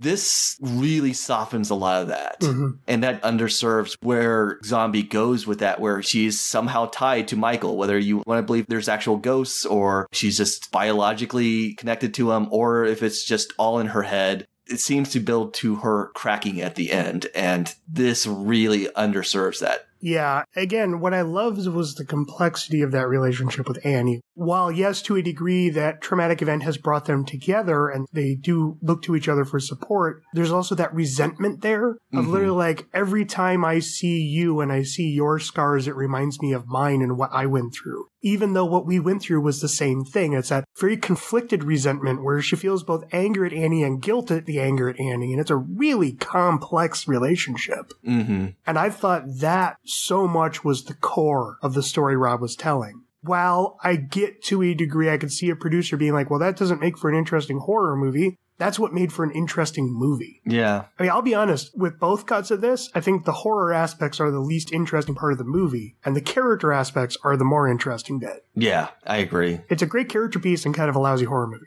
in both cuts. Yeah. Plus, this also cuts out more Danielle Harris, which should be a crime. The scenes between Laurie and Annie are great. I love that we Mhm. still get a lot of the scenes with Laurie, Annie, and the sheriff. Yeah. Because Brad Dourif as the sheriff was still one of my favorite aspects of the original cut. And I'm glad a lot of that's preserved here. hmm But yeah, that conflict between Laurie and Annie by removing that, by removing a lot of Laurie's breakdown. Because Laurie, in the theatrical cut, she seems vaguely stabilized until she gets the revelation from the Loomis book. Right. But in the director's cut, it's like she's already spiraling and that's the final kick off the cliff. hmm She's abusing her prescription medication. It hasn't been helping. She's having these traumatic nightmares. She's having these deeply conflicted feelings with her best friend in the world, hating and loving her best friend at the same time, and feeling a lot of guilt and anger over that, turning to the self medication with alcohol. It's a very damaged, destructive character, but it's also a very painfully tragic character in, in a very understandable way, in a very compelling way. Right. And again, to lose all the scenes with Margot Kidder as the therapist, too. Yeah. Those were so good. Those were so good. Yeah, they cut out a lot of the great character bits, and that's just really the worst part of this cut, I think. It's a very uncommercial movie, and they tried to kind of make it more commercial, but it's not a movie that you can easily fix those aspects. Right. And then some of the stuff that they added were the scene with Laurie and the therapist where she's talking about missing her parents, which I thought was a nice little bit. Mm-hmm. There's a different scene with Laurie talking to her teddy bear buddy, referring to Buddy in the opening scene. Mm-hmm. And then while in the original version, we had Laurie going on this very manic episode where she's talking about seeing a pig and seeing the Frankenstein in the park.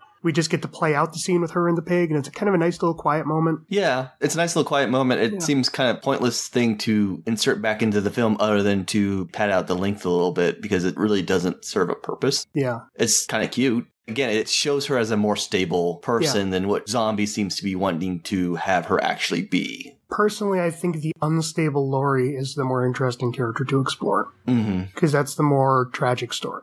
In the Loomis thread, they didn't really cut much, just like a few lines here and there. But I mean, like a couple of the big ones were while he was doing his presentation before the crowd, you have him talking about Freud and how it's the fate of everyone to direct their first sexual impulses towards their mother. Or doing the whole quippy paraphrasing of George Bernard Shaw when talking about nature versus nurture. And it's like, that was more just Loomis being kind of a smartass who's not a very good psychiatrist. Yeah. There's a few lines that I noticed that they drop. I really didn't notice it during that part of the film. I don't really think Zombie's amateur psychologist analysis of, of Definition of white horse. Yeah, I don't really think that adds a whole lot to the film, so I really don't mind losing that. Mhm. It's basically making it explicit that I really don't think you really need to. I think if you're familiar with Oedipal Complex, you probably can guess that there's some of that going on with Michael, but I don't think you really needed to make it explicit. Being in subtext was fine. I never really got Michael seeing his mother in a sexual way from the first movie. He definitely had a bond there, and he had a bond with Boo. And it felt more like he finally got to a point where he wanted to cut out everything that kept those three from being happy together. I don't think it was necessarily sexual, but I do think he kind of worshipped his mom because she was the only one who was ever really nice to him. Yeah. And Boo because she was a baby. Yeah. You know, I mean, she had no opportunity to do anything. And in the first film, as soon as she did try to attack him, he lashed out at her as well. It's fine as far as like a surface level Freud esque analysis, but it's not super deep and it's not really anything that needed to be dwelt upon. I was never fully sold on this movie using the visions of his mom and young Michael to drive Michael. And, and one of the lines that they cut is when the ghost of his mother says, We're done waiting. Only a river of blood can bring us back together. It's up to you. It's always been up to you, Michael. I always thought that was a little too on the nose and kind of a weak motive. Yeah, I didn't like that either. Some of the other stuff that they cut, like Big Lou, the strip club owner, of all the things to cut, they cut him in the park and they cut the what does a stripper do with her asshole joke. Even though they still have the punchline of the joke. Yeah. Take out the trash, Aaron. I appreciated that scene going faster, but this whole strip club thing just felt really skeezy and exploited for no particular reason other than just it's Rob Zombie and Yeah. it's a horror film. You think that the bit with the interview was actually the most benign part of that whole scene, so I don't know why they would cut that part and not more of the skeeziness of the whole strip club. Around Annie's death, there's two major cuts. When Laurie and Maya arrive at the house, the director's cut had this kind of long scene where Laurie and Maya are chilling out in the kitchen, going through tea and cookies and trying to sober up, not knowing that Annie's dead upstairs. Right. They completely remove that from this one. Instead, it's just as they walk in, you see the shot of Michael walk by the window up at the top. Mm, yeah. I thought that was a nice little tense moment that allowed for a little bit of bonding with Maya, who's a character who's kind of underdeveloped anyways. Right. And the tension of they're relaxing in a home not knowing that someone's dead upstairs. Yeah, I agree. I think that tension where you know her best friend is upstairs is either dead or dying, and you don't know when they're going to come up and discover this. Zombie is not really good with tension, so to cut out one of the more tense scenes is actually a disservice to the movie. Yeah, Zombie's idea of tension is a guy sitting there going, fuck, fuck, fuck, fuck, fuck, fuck, fuck, fuck, Yeah. fuck, fuck, fuck, fuck. Exactly. yeah. Compared to the original Carpenter version, he doesn't get the tension part very well, but that scene was actually really good because we've really cared about Annie this whole time. Mhm. And knowing that they're just downstairs from her body, I don't think we know if she's alive or dead at that point. That's actually one of the more effective bits that Zombie did as far as like real horror. And then what'd you think about the way they cut down Sheriff finding Annie? Oh, that sucks so much. That was the hardest gut punch of the director's cut. I could see you cutting it down a little bit, They cut it way down. but it cut it way down. You don't get the flashbacks to the old VHS videos mm-hmm. of Annie and his memories of her. It's heartbreaking to lose. Like, he gave such a great performance. And yeah, he's not the main character. I kind of see like you want to cut it down a little bit, but why lose that much of it? I don't understand. Right. Other than they figured if they cut it 15 minutes shorter, they can show it an extra time at the movie theater. I loved the Sheriff Laurie and Annie dynamic as this troubled, broken family that pulled together out of tragedy. Right. The best friends who resent each other, the guy who's trying his damnedest to protect both of them, and to have it all fall apart so brutally. This is some of Brad Dourif's best acting I've seen. It's great filmmaking from Zombie, great acting from Brad Dourif. I just thought that sequence of him, again, not only seeing his daughter in that state, but seeing her in that state again Mm-hmm. and not able to be saved like the last time. Yeah. And just the breakdown. Yeah. He makes that guttural, like, Oh, Scream. God, it. You know, they cut that Yeah. out. Yeah. and it was just like very human and very Yeah. real. Normally, you don't get that sort of reaction in a horror film. Yeah. Usually, that's too much. Okay, we gotta keep moving. We gotta keep moving. Keep the tension and the pacing and the adrenaline running. Instead, it took time just to show the horror and the devastation that happens to somebody losing somebody like that in such the worst way possible. Yeah, it just loses so much. I don't know if I would have noticed that it's missing if I had only watched the theatrical Yeah. version, but knowing that it was there, it really hurts that so Yeah. much. Yeah, I agree. And it's like out of a film where so many of the deaths are just empty, hollow, cheesy, nobody character deaths. To have the one major important death. I mean, I'm glad they still left most of her dying in the arms of Laurie, because that was powerful. Yeah. But yeah, what was compelling was again that so much was put on the consequence of her death, the emotional consequence of her being taken again and not being able to be saved a second time was just devastating. Mm-hmm. They really hollowed out a lot of that emotional response. Yeah. That one definitely feels like producers being kind of like, yeah, but where's the next kill, you know? Mm-hmm. It's like, fuck off.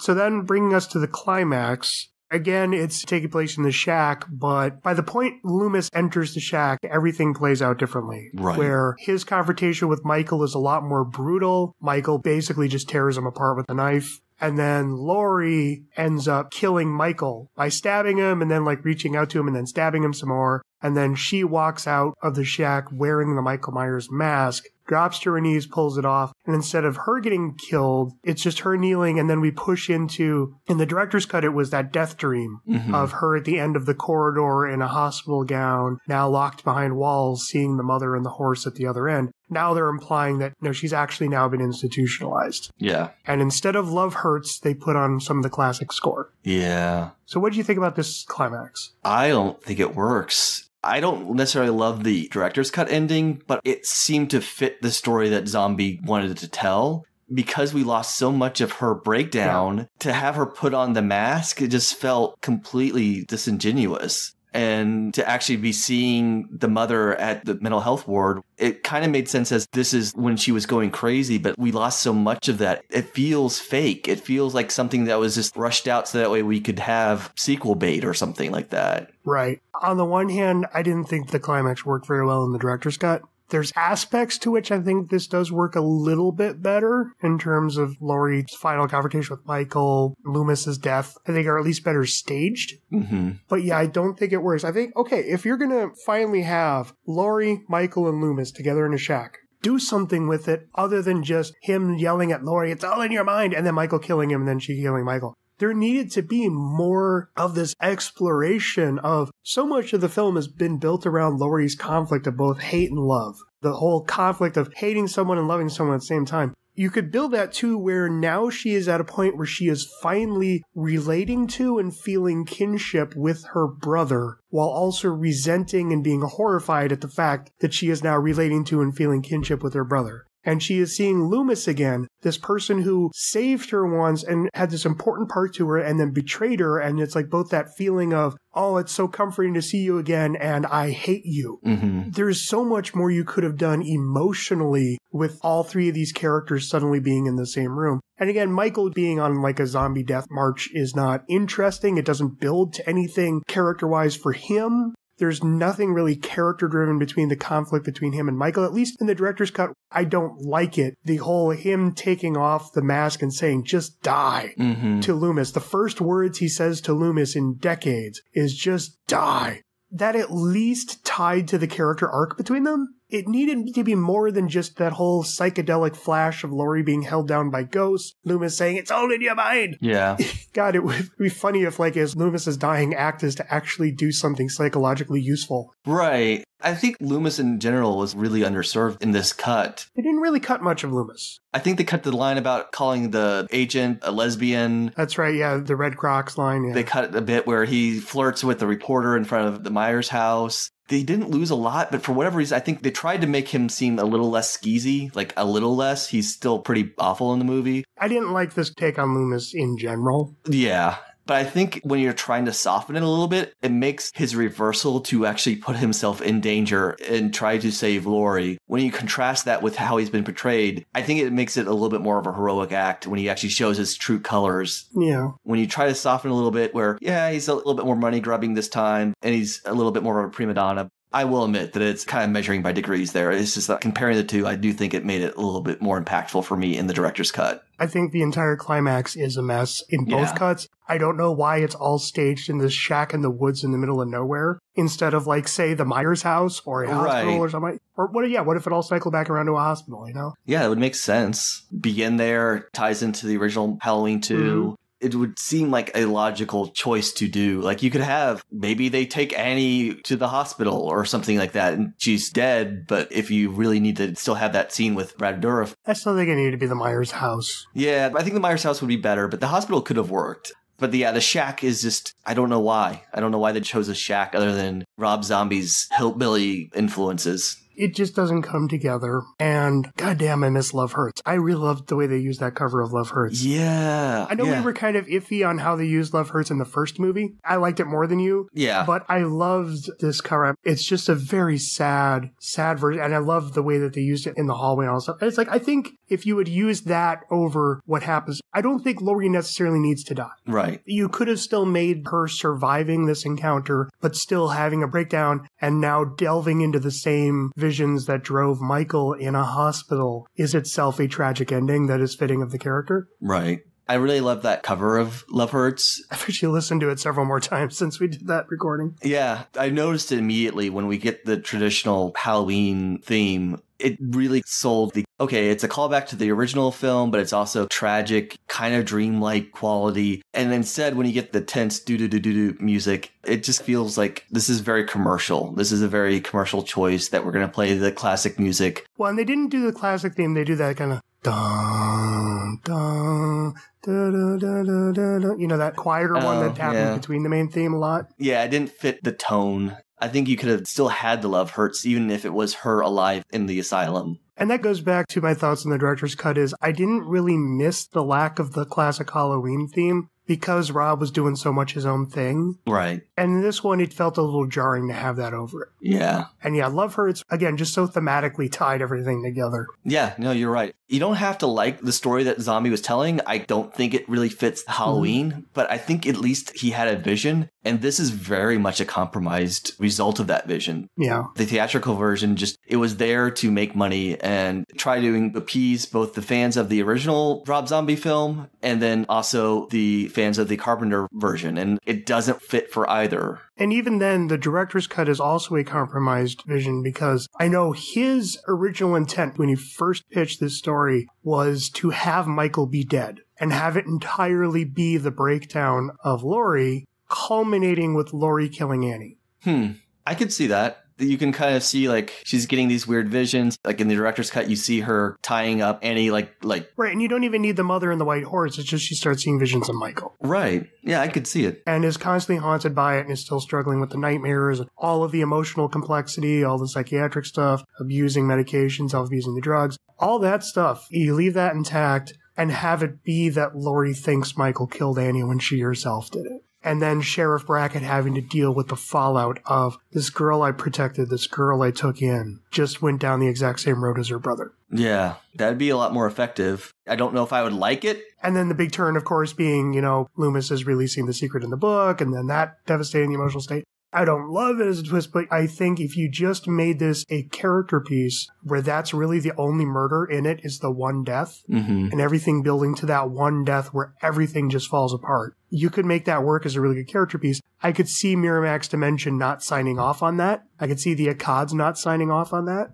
And that's why you suddenly have Michael going around just killing a whole bunch of random people. Right. Because that's where even the director's cut feels compromised is all the scenes of Michael going around killing random people. Yeah, like the hillbillies and the strip club and all that that really don't serve to forward the plot any. Is just to pad the body count. So that's the question is, if you had to do a theatrical cut of the director's cut, what would you have cut? Oh, I think I'd cut down a lot of the kill stuff. I think it's just like he has this tendency to linger on the gore so much. Mhm. Like the ambulance guy, that whole scene where he's just saying fuck for like For like five minutes. Three minutes straight. Yeah, yeah. Yeah. And then getting his throat cut by Michael. It lingers on too long. It's excessive. Yeah. It's excessive and there's no point to it. The strip club scene where he's bashing the naked stripper into the mirror over and over again. Even like small little cuts, like when he kills Octavia Spencer and she doesn't even realize she's been stabbed. Like that part I really like. That's a good one. But then you go down to him stabbing her over and over again as she's lying on the ground. Classic Michael would have left her like that and just see how long it takes her to bleed out, you know? Right. He would have had this curiosity. Or at least if you're going to have him attack her, just show like the initial stab. You don't have to Yeah. keep cutting to him stabbing over and over again. Every Michael death is like a bear mauling in this. There's no Right. grace to any of it. No, it's very much he keeps going and lingers on every kill. hmm I can argue the merits, but all the character bits should stay in there. Like the Mhm. director's cut, the character bits are the best part. I think he's got a good handle on character.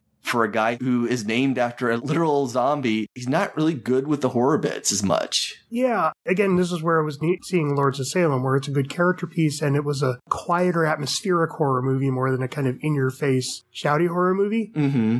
I think he excels more at emotion and I actually think he's a very artistic filmmaker. But yeah, when it comes to action, when it comes to like, you know, the actual kill sequences, they're kind of clumsy. Yeah, They're heavy handed. They're underthought and heavy handed. that's a good word for it, heavy handed. If you can kill him with one stab, five would be better. If you can show a little bit of gore, then ripping a guy's head off or smashing it with his foot is even that much better. There's an art to subtly conveying the horror that makes you uncomfortable, and he doesn't have that skill, at least not based on these two films. I mean, this is one where I would just let it be a character movie and stop trying to shoehorn in all the extra horror. Some of the horror works fine, but they're trying too hard to, you know, put in a kill every 10 minutes. And Yeah. it's like, just let it play out.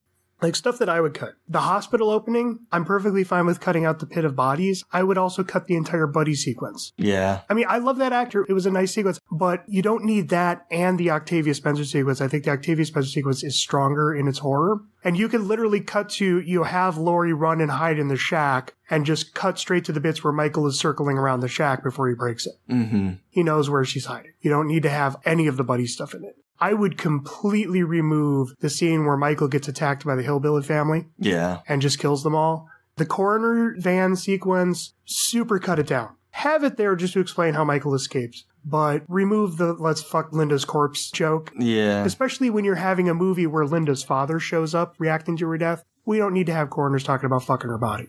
Cut that. Once the accident happens, really cut down the whole lingering on the guy shouting fuck. Like have him wake up and then like within like 10 seconds of waking up, have the van jolt and like, you know, Michael burst his way out. And all he has to do is basically cut the guy's throat. You don't need to do the whole severing the head. Yeah. He kills the guy, he goes to the vision of his mom. That's all you really need. The strip club sequence, I actually liked Big Lou. I thought he was a fun actor. I thought him and the stripper had a fun energy to it. It was exploitive as hell. But you can completely remove them from the film. I don't mind having the strip club there to have the scene where Michael is standing at the base seeing the ghost of his mother on the stage. Because that's an image that he's never confronted about his mother. Mm-hmm. I would have done something more with it, but if you're going to leave the strip club scene in, that's the moment to leave. And if you want to, you can just have him kill the guy in the alleyway just to explain how he gets in the strip club and there's no one there. Right. Have be that's the guy who's locking up for the night. You know, and you could tighten that down. I actually like that kill too, where he body slams the guy and stomps his head in. I would cut that scene in half, maybe just in terms of the dialogue. Right. But I mean, all the Laurie, Annie, psychiatrist, Sheriff Brackett stuff, leave it in. Yeah. I would tighten up the Loomis stuff. Again, you don't need the talk show and the news report and the lecture I would just do the lecture followed by the book signing. Mm-hmm. Because the lecture is where you have him being very pompous and then melting down, and then the book signing with the confrontation with Linda's father. Part of me would miss having Weird Al in a Halloween movie just because of the I know. novelty of that, but I kind of agree. It didn't really serve a purpose other than to reiterate, hey, people think that you're exploitive of tragedy, something that the book Yeah. signing and the lecture already had served. Right. And then some of the sequences between him and the publisher, because, you know, that's where she has the whole thing about how you're actually messing with people's lives as the setup for him revealing the thing about Laurie. Mm-hmm. I would cut down the whole scene of Laurie losing one of her friends who is fucking the wolf boy in the van. As amusing as that scene was, because the guy played the wolf guy was hilarious. Yeah. It all goes on too long. Again, you kind of need to explain what happens to that friend, so I would just cut it down. You don't need to have the party going. I mean, the way the party played in theatrical film, they did tighten it up so it's not just, let's spend three minutes watching this musical act on stage, which was in the director's cut. Mm-hmm. They cut down the host of the party, who was the same actor as the guy who got killed in the alleyway, even though they were trying to hide it, because he's one of Rob Zombie's friends. That same actor is also in Lords of Salem and 31 and like all of his other ones. It's something that I can see in a director's cut why it's as long as it is in there. I do think that for a theatrical version, you probably need to cut down that scene. Right. I would leave that extra scene with Mya and Laurie in the kitchen. I thought that played out well. Again, leave everything involving Amy's death. Leave in the sheriff finding her. Leave all that in. Yeah. After that, it gets tricky because I don't think the third act of the movie is good in either cuts because, you know, it's the whole Laurie running away and then the guy finds her on the road and then they tip the car over. And that's not really an important scene. It kind of explains how Laurie ends up in a disheveled state. If we're still stuck with the footage we have, Yeah. I would maybe leave that in just for extra beat, even though it's a cheap beat. And for the climax, God, I would be like, I want to take parts of the director's cut, parts of the theatrical cut, but it'd be hard to do because I want the Michael saying die to Loomis, but that happens outside the shack, so you can't keep that and Laurie stabbing Michael in the shack. Mm-hmm. So that would be tricky. And in terms of does Laurie die or does she kneel on the ground with the mask? I would go with the kneel on the ground with the mask because I think that was executed better. I don't think her being gunned down was shot very well, No. but I would still play Love Hurts and I would still have the whole ending in the corridor. Yeah. So it's like there's a lot that I wish that they cut from the theatrical cut, but they left everything in that I would cut. Right. Yeah. A lot of the stuff that I missed the most was in the director's cut. So I guess I'd lean more towards that version, I guess. But both of them are flawed. I mean, I enjoyed the director's cut more than you did, so I'm obviously going to recommend that one. Yeah. If I had to, that would be the one I'd say I'd recommend. Yeah. I do think both of them are flawed. I think both of them. There's some really solid ideas in there. I really like the idea of exploring the psychology of somebody who survived like Yeah. the worst night ever. We got that with H2O and the new Halloween of like exploring Laurie years down the road, but still in the more immediate survival, where the wounds are still fresh. Yeah, you don't usually get to see that in any sort of film, horror or otherwise, to deal with the aftermath and how do you move on and Yeah. the psychology behind that. There's some really good ideas there. I just think he was kind of limited just because of the nature of the material he's adapting. Mhm. Again, if this had been his own property, if we had gotten Paper mache pumpkin mask killer. Yeah. Yes, if we had gotten the paper mache pumpkin mask killer instead of Halloween Michael Myers, where he would have more freedom to explore, I think this could have been a fantastic film. Ooh, ooh, ooh. If he did that original one, then Laurie makes her own paper mache mask out of torn out pages of Loomis's book. Oh, yes, yeah. I could see that. I could see that working. It's just a shame because he has some really good instincts. Oh yeah. He's got a good eye for film and for a guy who's known as a musician, like he's really a good filmmaker. It's just He's very impulsive though. Yeah, he needs an editor and he needs material that is not limited like Halloween or any other type of film. I know you kept comparing it to Friday the 13th. I think I've made some comparisons to Texas Chainsaw, but I think that he would be best off where if he could just explore his own stuff. Yeah, yeah. Like his version of Hatchet, where it's like Hatchet is essentially a spin on Friday the 13th, but they kind of did their own thing with it. Right. It's like, yeah, just do your own kind of thing with it. This could have worked. File off the serial number so that way no one can Yeah. say it's a Halloween remake. Exactly. Irredeemable, that shit. you could have easily have done a really good film and instead we like, again i keep using the word compromised that's what it is. I really regret zombie not being allowed to do more of what he clearly wants to do but at the same time i think he also still needs an editor. I think he needs somebody to say like okay let's just shorten this scene by half and go from there Yeah, I think he's impulsive and he's indulgent. yeah But again, he's also very inventive. He has a great visual eye. He has a lot of heart and emotion to his Mhm. filmmaking. his Halloween movies, I'm glad we finally revisited them because I know I hated his first Halloween for years. I was very much dreading revisiting them. That's why we put this off for so long during Masters of Carpentry. But I'm glad to revisit them because I can now have the distance to step back and say, while they're not ideal Halloween movies in their own right, they are very interesting movies, but both are also very uneven and compromised movies and not only compromised by the studio, but also compromised by Rob's own impulsiveness and indulgence. Yeah. But I still think there's enough to both of them because the first film, I do think the exploration of young Michael has enough really interesting stuff, especially as he's degenerating in the hospital and the scenes with him and his mother are really captivating filmmaking and the background plot of Annie and Sheriff Brackett in both movies. And again, just the character study in this movie they're both messes of a movie, but there's a lot of really interesting, compelling stuff in them in their own right. So that's where I'm glad I finally had the distance to actually sit back. I can appreciate them more. I especially appreciate number two for doing something really interesting and unique even if it's even more of a mess than the first one is. Yeah, I think that's a good way of putting it. In some ways, it was even more ambitious than the original because it wasn't just trying to remake another film, especially since Rob spent half the original film that he did telling a new story with the background of Michael and then quickly remaking the original Carpenter version in half the time, losing a lot of the tension. It's an interesting trilogy, but the problem is the first two movies were all squished into one. Yeah, that's exactly right. Yeah. Getting into the box office release, Halloween 2 came out on August 28th, which was an interesting time for a Halloween movie. Hmm. Other movies that were already out at the time, we had Inglourious Basterds at number 2, District 9, Julie and Julia, G.I. Joe, The Rise of Cobra, The Time Traveler's Wife, and Robert Rodriguez's Shorts.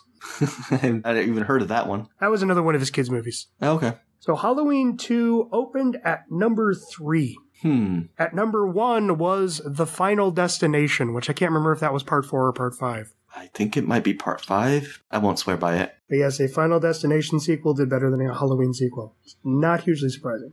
So in its second week, Halloween 2 dropped to number seven. Oof. And that was the week that Gamer, the film from the makers of Crank, opened at number four. and All About Steve opened at number three. I don't remember what All About Steve was. I don't recall in its third week of release. Halloween 2 dropped to number 14. Wow. Yeah, it did not stick around long. Opening that week were Whiteout and Sorority Row, another slasher movie that opened at 6 and 7. And then opening at number 2 was 9, that animated film. Okay. And opening at number 1 was Tyler Perry's I Can Do Bad All By Myself. That is certainly likely a film. Yes. I don't begrudge Tyler Perry. I've never seen any of his films. Seems like a lovely guy. I don't know. Oh, yeah. They don't interest me, but if people like them, good for them. So, in its fourth week of release, Halloween 2 was at number 17. Oh, jeez. This is the week that Jennifer's Body opened at number 5. I'm glad to see that one's developed a cult following, because I know it was trashed when it first came out. Yeah. We had The Informant at number 2, and opening at number 1 was Cloudy with a Chance of Meatballs. I've never seen that, but I've heard that it's a really good kids film. I just saw it for the first time a couple months ago. It's really good. That was the first Lord Miller movie. Okay. Very sharp, very funny, very colorful. That will probably cut off here because in its fifth week of release, Halloween 2 was at number 28. Wow. I wonder if it was word of mouth or was it because it was out, like we had the other Final Destination film and maybe there's just too much horror crowded around the same time. Well, I think also when the first movie came out, there was a lot of curiosity to it because Rob Zombie was at his peak after Devil's Rejects. Right. And it was a very polarizing movie. True. And I think Halloween 2, there were a lot of people who were already actively against it. And then seeing this theatrical cut, where it's pretty much all nasty horror and the character stuff's been shortened, I could see why it didn't really hook people or get much word of mouth. Right. So in that final week, Cloudy with a Chance of Meatballs remains at number one. I know that was a huge hit. The Bruce Willis sci-fi movie Surrogates opened at number two. That's actually not a bad movie. The comic book is really good. Yeah, I watched the movie. It's not bad. At number three was the remake of Fame. Haven't seen that. Remember that happened? I remember it existed. I couldn't tell you anything about it. Who was in it? Who directed it? Yeah, and at number five was the sci-fi horror movie Pandorum, which I wanted to at least give a shout out to because I really like that movie. it's a nice oddball sci-fi event horizon type movie. Hmm. I'm just curious to see why they didn't release this in October, and I'm just scrolling through. Let's see what came out in October, the horror wise. Oh, Zombieland came out at the beginning of the month. Oh, wow. I know that was a big hit. Yeah, I like that one a lot. Oh, the Stepfather remake, which I don't remember that one doing very well. Where the Wild Things Are. I could see that being a good family Halloween movie with all the monsters and everything. Yeah. Antichrist. Oh boy, there's your intense indie horror movie of the period. There you go. Yeah. Oh, Cirque du Freak, the vampire assistant, that bombed. Saw 6. Oh, you see, there's your big tent pole. Yeah, because remember the last Halloween opening against Saw 4? Yeah. I could see them wanting to get some space between them and Saw. It was a remake of Night of the Demons that year? I didn't even know they did a remake of that. Hmm. And what's a Halloween night? Obviously, it didn't do well because I never heard of it. House of the Devil, that was an indie one. I could see, yeah, the two big ones that season were Zombieland and Saw 6, which was still making a ton of money. Yeah. The Saw franchise, I mean, well, we got six of them by that point. I think we're up to eight now. yeah. Because then we had Saw 3D and then Jigsaw. Oh, yeah, you're right. I like the first few, but to be honest, I would actually much rather watch more from Zombie than I think I would want to watch more from the Saw franchise. Well, what's going to be interesting is we're going to get to a Halloween script here soon, written by the guys who wrote Saws 4 through 3D. Hmm. And I just watched one of their films, The Collector, which was actually a very interesting film, and I'll bring it up when we get there. Okay. Zombies Halloween 2, it cost 15 million to make. It ultimately only made 33. So it still doubled its budget, but this is a time when that doesn't really mean that much anymore. Yeah. It kind of killed things. And as we'll be getting into, there were plans for a Halloween 3D where it was another creative team was taking over, but it was still going to be a sequel. There was plans for a reboot by some of the Saw guys. And then we got to what would be the ultimate reboot that we'll be covering here soon. And speaking of, we got some feedback on Twitter when I was just kind of asking some people what they thought about the Rob Zombie movies. And one of the people who chimed in was Alex, co-host of Masters of Carpentry. I think I've heard of him. Oh yeah, we'll be having him back on here soon when we actually get to the 2018 Halloween movie. So he wrote, It's been a while, but I disliked the first film because it made Michael a Frankenstein wrestler with too much focus on his time in the asylum. The second had a unique POV and some great dream sequences, so I appreciate it more. Hmm. And yeah, I gotta admit, in Halloween 2, I didn't really need them to bring back Michael going, yeah. They do a little bit too much with, even if he's not speaking, he's still doing a lot more vocalizing than he needs to. I've never been a fan of that. So Tim, the co-host of Cinema Spection, which is a very fun podcast, he said, I appreciate how Zombie presents a different take on Michael Myers. We all know Myers is a cipher who kills with no explanation or apparent reason, so giving a more realistic take on how the character became who he is due to an abusive home is novel and not without merit. Unfortunately, I feel like Zombie falls back on his usual profanity laden dialogue and quote unquote edgy characterizations, even for Laurie Strode, and the use of horror actor cameos becomes distracting. I don't know, I kind of liked all the horror cameos. Yeah, I don't think they're too distracting. I mean, there's a few times where I was like, oh, it's hey, that one guy, or hey, there's Udo Kier, or whatever. But for the most part, they seem like they all fit in a Rob Zombie universe. So I Right. never found them too distracting. I mean, because again, Danny Trejo actually had a good character story. Margot Kidder actually had some really great sequences. I didn't mind it. Rob Zombie's kind of like the Grindhouse Joe Dante. Yeah. It's just a fun little extra layer that it's not distracting for me. He usually gives them all interesting things to do. Mm-hmm. So Michael of Earth2.net said he quite liked Zombies Halloween 2 and he linked me to an episode of his podcast where they discuss the entire Halloween franchise. And I did give it a listen when they were ranking all of the various sequels that came after the first Halloween movie. He actually had Halloween 2 at his second favorite. Hmm. And that's entirely because of the character study of Laurie Strode and all that. Yeah. Not my choice, but I, I totally could get that. His co-hosts were not on board with him on that.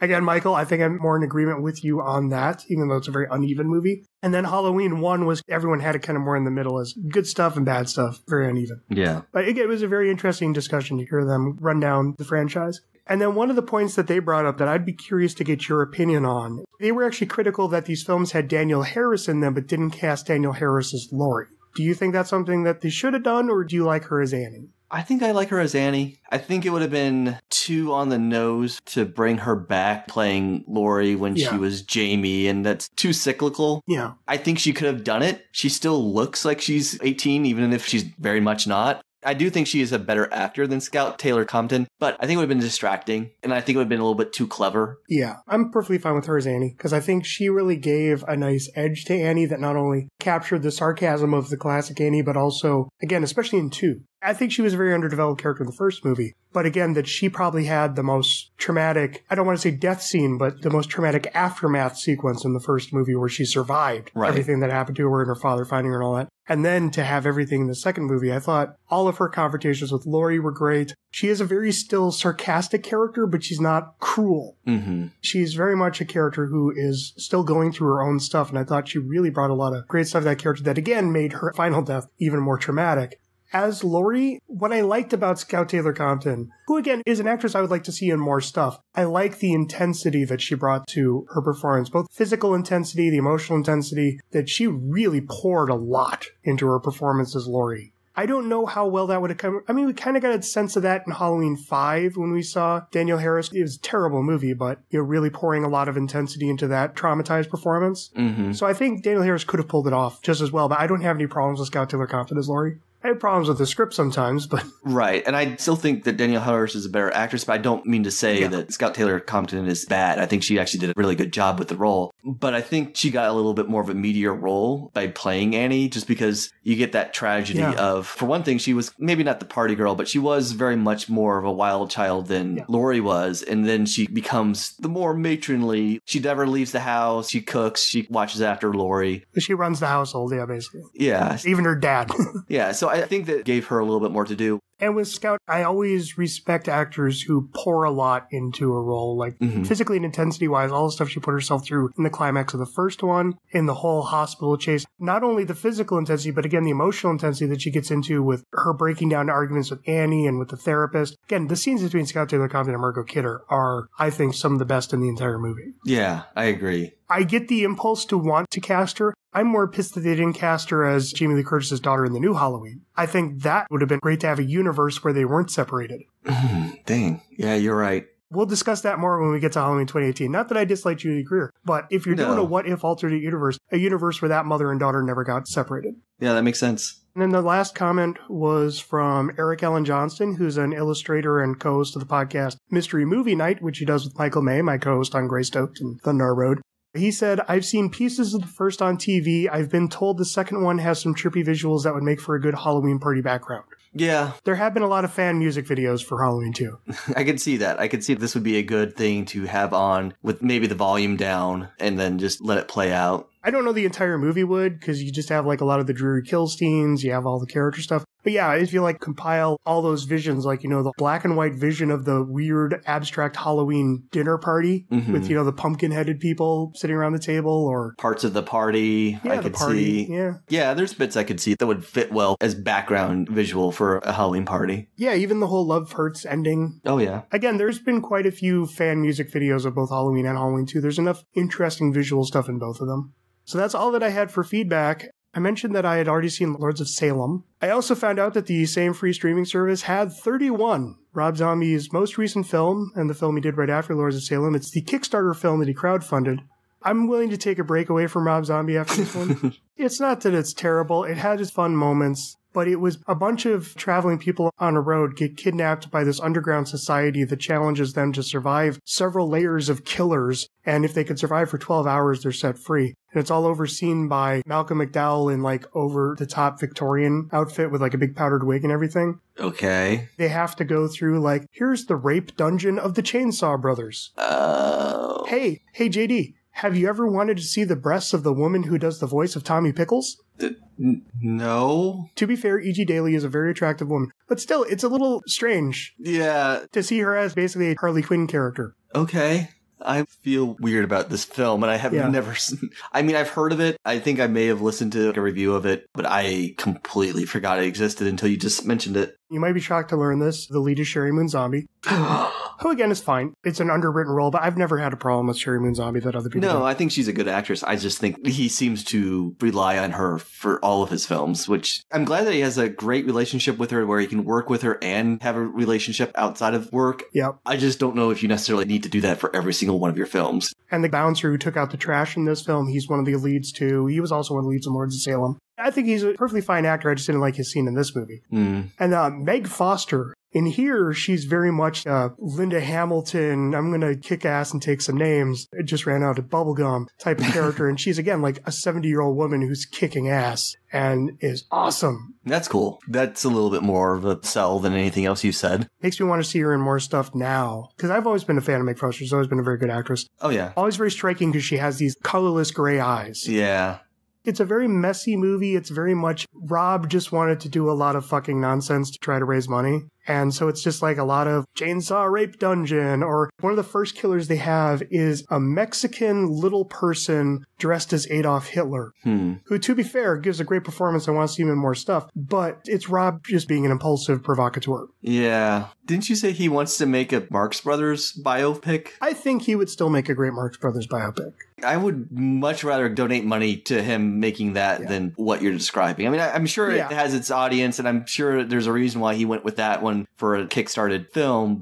I mean, here's the thing. I'm not saying it's a bad movie. It's just him pushing as many buttons as he can. It's very juvenile. It's a very juvenile movie, Yeah. but it's still very well made. Like all the design and all the actors are really interesting, the costumes and everything. It looks nice, but Lords of Salem, what was nice was it was him building on Halloween 2 and doing a very atmospheric character study movie hmm with these artistic elements of horror. I would love to still see him explore other things, and this was kind of him just going back to House of a Thousand Corpses. Yeah. And then I know his next film, which he's just finishing up, is another sequel to Devil's Reject. So he's just still doing that. Which I mean, I get that's where he made his name, and I can see like going back to that. Well, I mean, Kevin Smith is making another Jay and Silent Bob film. I mean, I get it, but at the same time, you kind of hope that they would grow past doing that same thing. And like I said, he's got some really good instincts when it comes to character and stuff. I really would like to see him get out of the horror ghetto. Yeah, he's a filmmaker that I would love to see pull himself out of the niche. Yeah. I get it. You know, and hey, if he genuinely enjoys making these movies, then all the power to him.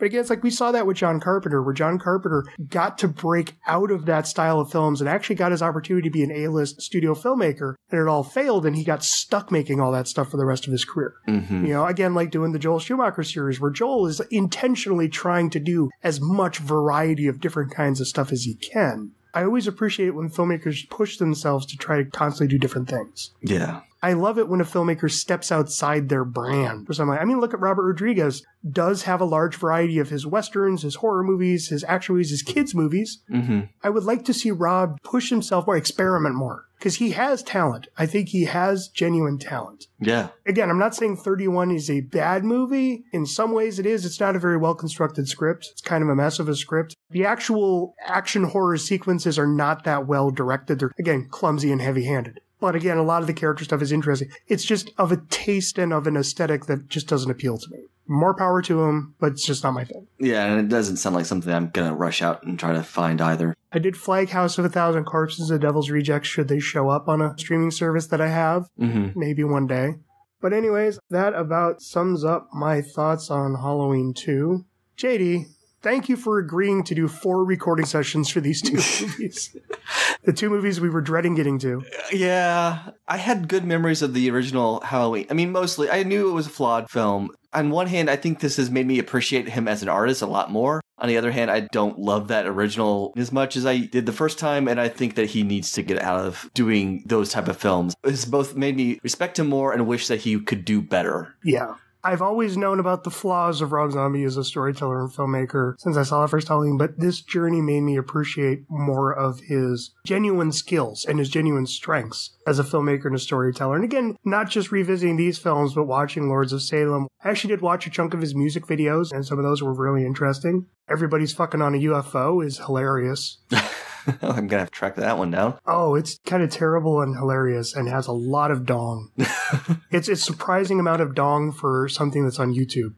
okay. I think he has genuine skills. And again, I don't want to dismiss his rockabilly burlesque aesthetic hmm where everything is kind of grimy and skeezy, but also be very colorful and carnivalesque because that's a genuinely valid aesthetic. And there are times in which it's really compelling and interesting. But there's also times when he just falls into excess and exploitation and very juvenile. Pro- I mean, I'm not trying to dismiss provocateurs. I don't mind people who push buttons. But when you're just doing it in a very juvenile way, Yeah. like, here's the Chainsaw Brothers with the rape dungeon. Yeah. He doesn't have anything more to add other than that. Yeah. It's fine, but we're both at this point where we've seen that sort of thing before. Oh, yeah. I was a teenager once. Yeah, it's something that teenagers and people who are just getting into horror Yeah. might appreciate a little bit more than you or I. And I haven't even seen that many horror films, but I've seen a lot. I can enjoy that thing in short bursts, but I don't necessarily need all of it over and over again, which is kind of what Zombie's done. Like I said, I respect him a lot more now. I just hope that he grows past this and does something else. Well, and even then, if it's what he likes to do, but I, I just want him to have more range. Yeah. If he wants to do these kind of films, God bless him, go ahead and do it. But I would love to see other stuff amongst that. I want to see him do a Western. I want to see him do a road trip movie. I want to see that Marx Brothers film. I want to see the Marx Brothers movie. I want to see Rob Zombie do a Marx Brothers movie. I had a joking thing with my friends where we were watching a Nicolas Cage double feature. And I'm like, you know, I would love to see Nicolas Cage star in a reboot of Grizzly Adams as done by Rob Zombie. And everyone reacted with horror, and I was being sincere.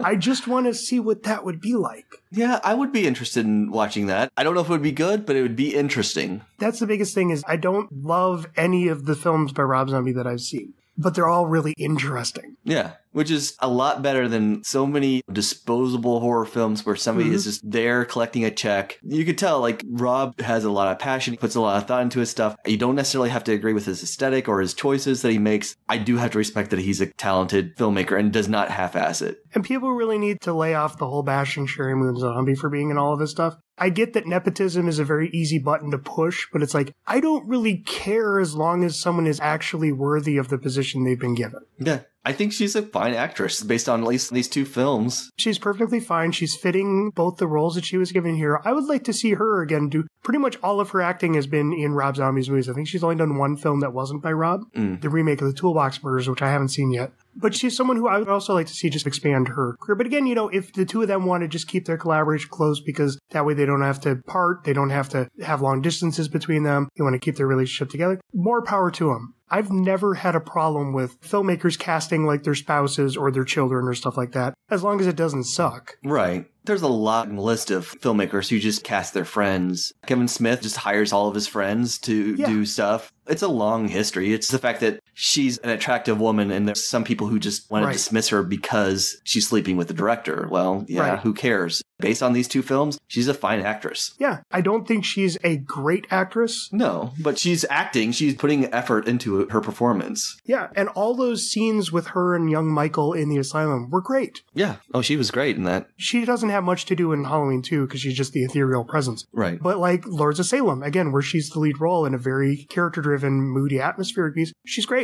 I don't have a problem with it. Rob Zombie is a filmmaker who I understand why people have their biases against him. To a degree, I think they need to overlook that. And to a degree, I think he needs to stop playing to that.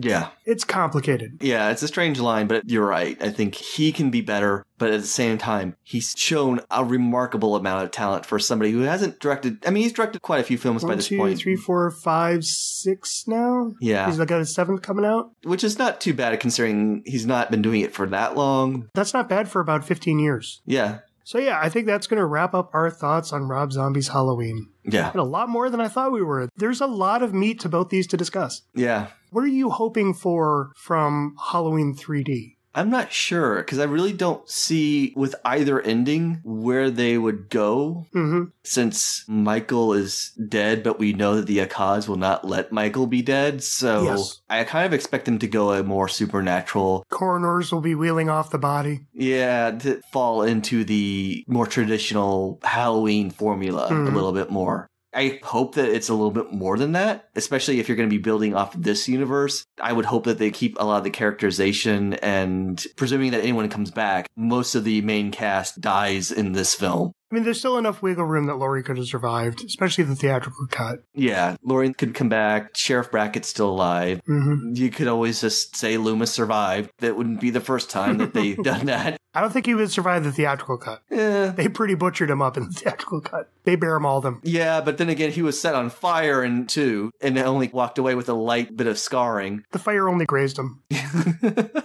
It's only a flesh wound. So there's a lot of openness as to where they could go with it. I kind of hope that they keep a lot of the characterization that Zombie had and maybe back off some of the more excessive violence, though I have a feeling it'll go the other way around. It's Todd Farmer and Patrick Lussier. It's the guys who did Jason X, My Bloody Valentine 3D, and Drive Angry 3D. I don't think that's the direction they're going to go. Yeah, I was gonna say I kind of like Jason X. I won't lie, but they're not the people Oh, yeah. you go to when you want deep characterization. I mean, Drive Angry 3D had a scene where Nicolas Cage is having a hellfire gunfight while fucking a woman. I mean, we've all been there. Oh, yeah. I'm not expecting taste. No, I'm expecting it to be goofier and sillier. which could be a valid choice. In its own right, it could be an interesting way to go. Obviously, they're going to bring back Michael. I'm curious how. I'm going to be curious if Laurie is in this. Yeah, I'm curious because I know nothing about the plot. I know it's Halloween 3D and I know the people who made it. I'm genuinely curious. Like, I don't love the zombie verse, but I feel invested in enough now that I'm curious to see where it would have gone. So we'll be back. Good night, everybody. Ooh, you can't see it, but my hands are coming into your face. Love hurts. Love scars. Good night, Noel. Good night.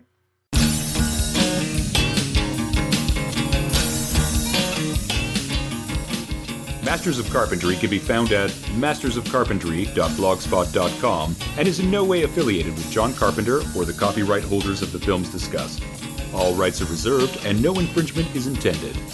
Our theme music is Black Rainbow by Jak Locke. To hear more, please visit jaklocke.com. That's J A K L O C K E dot com.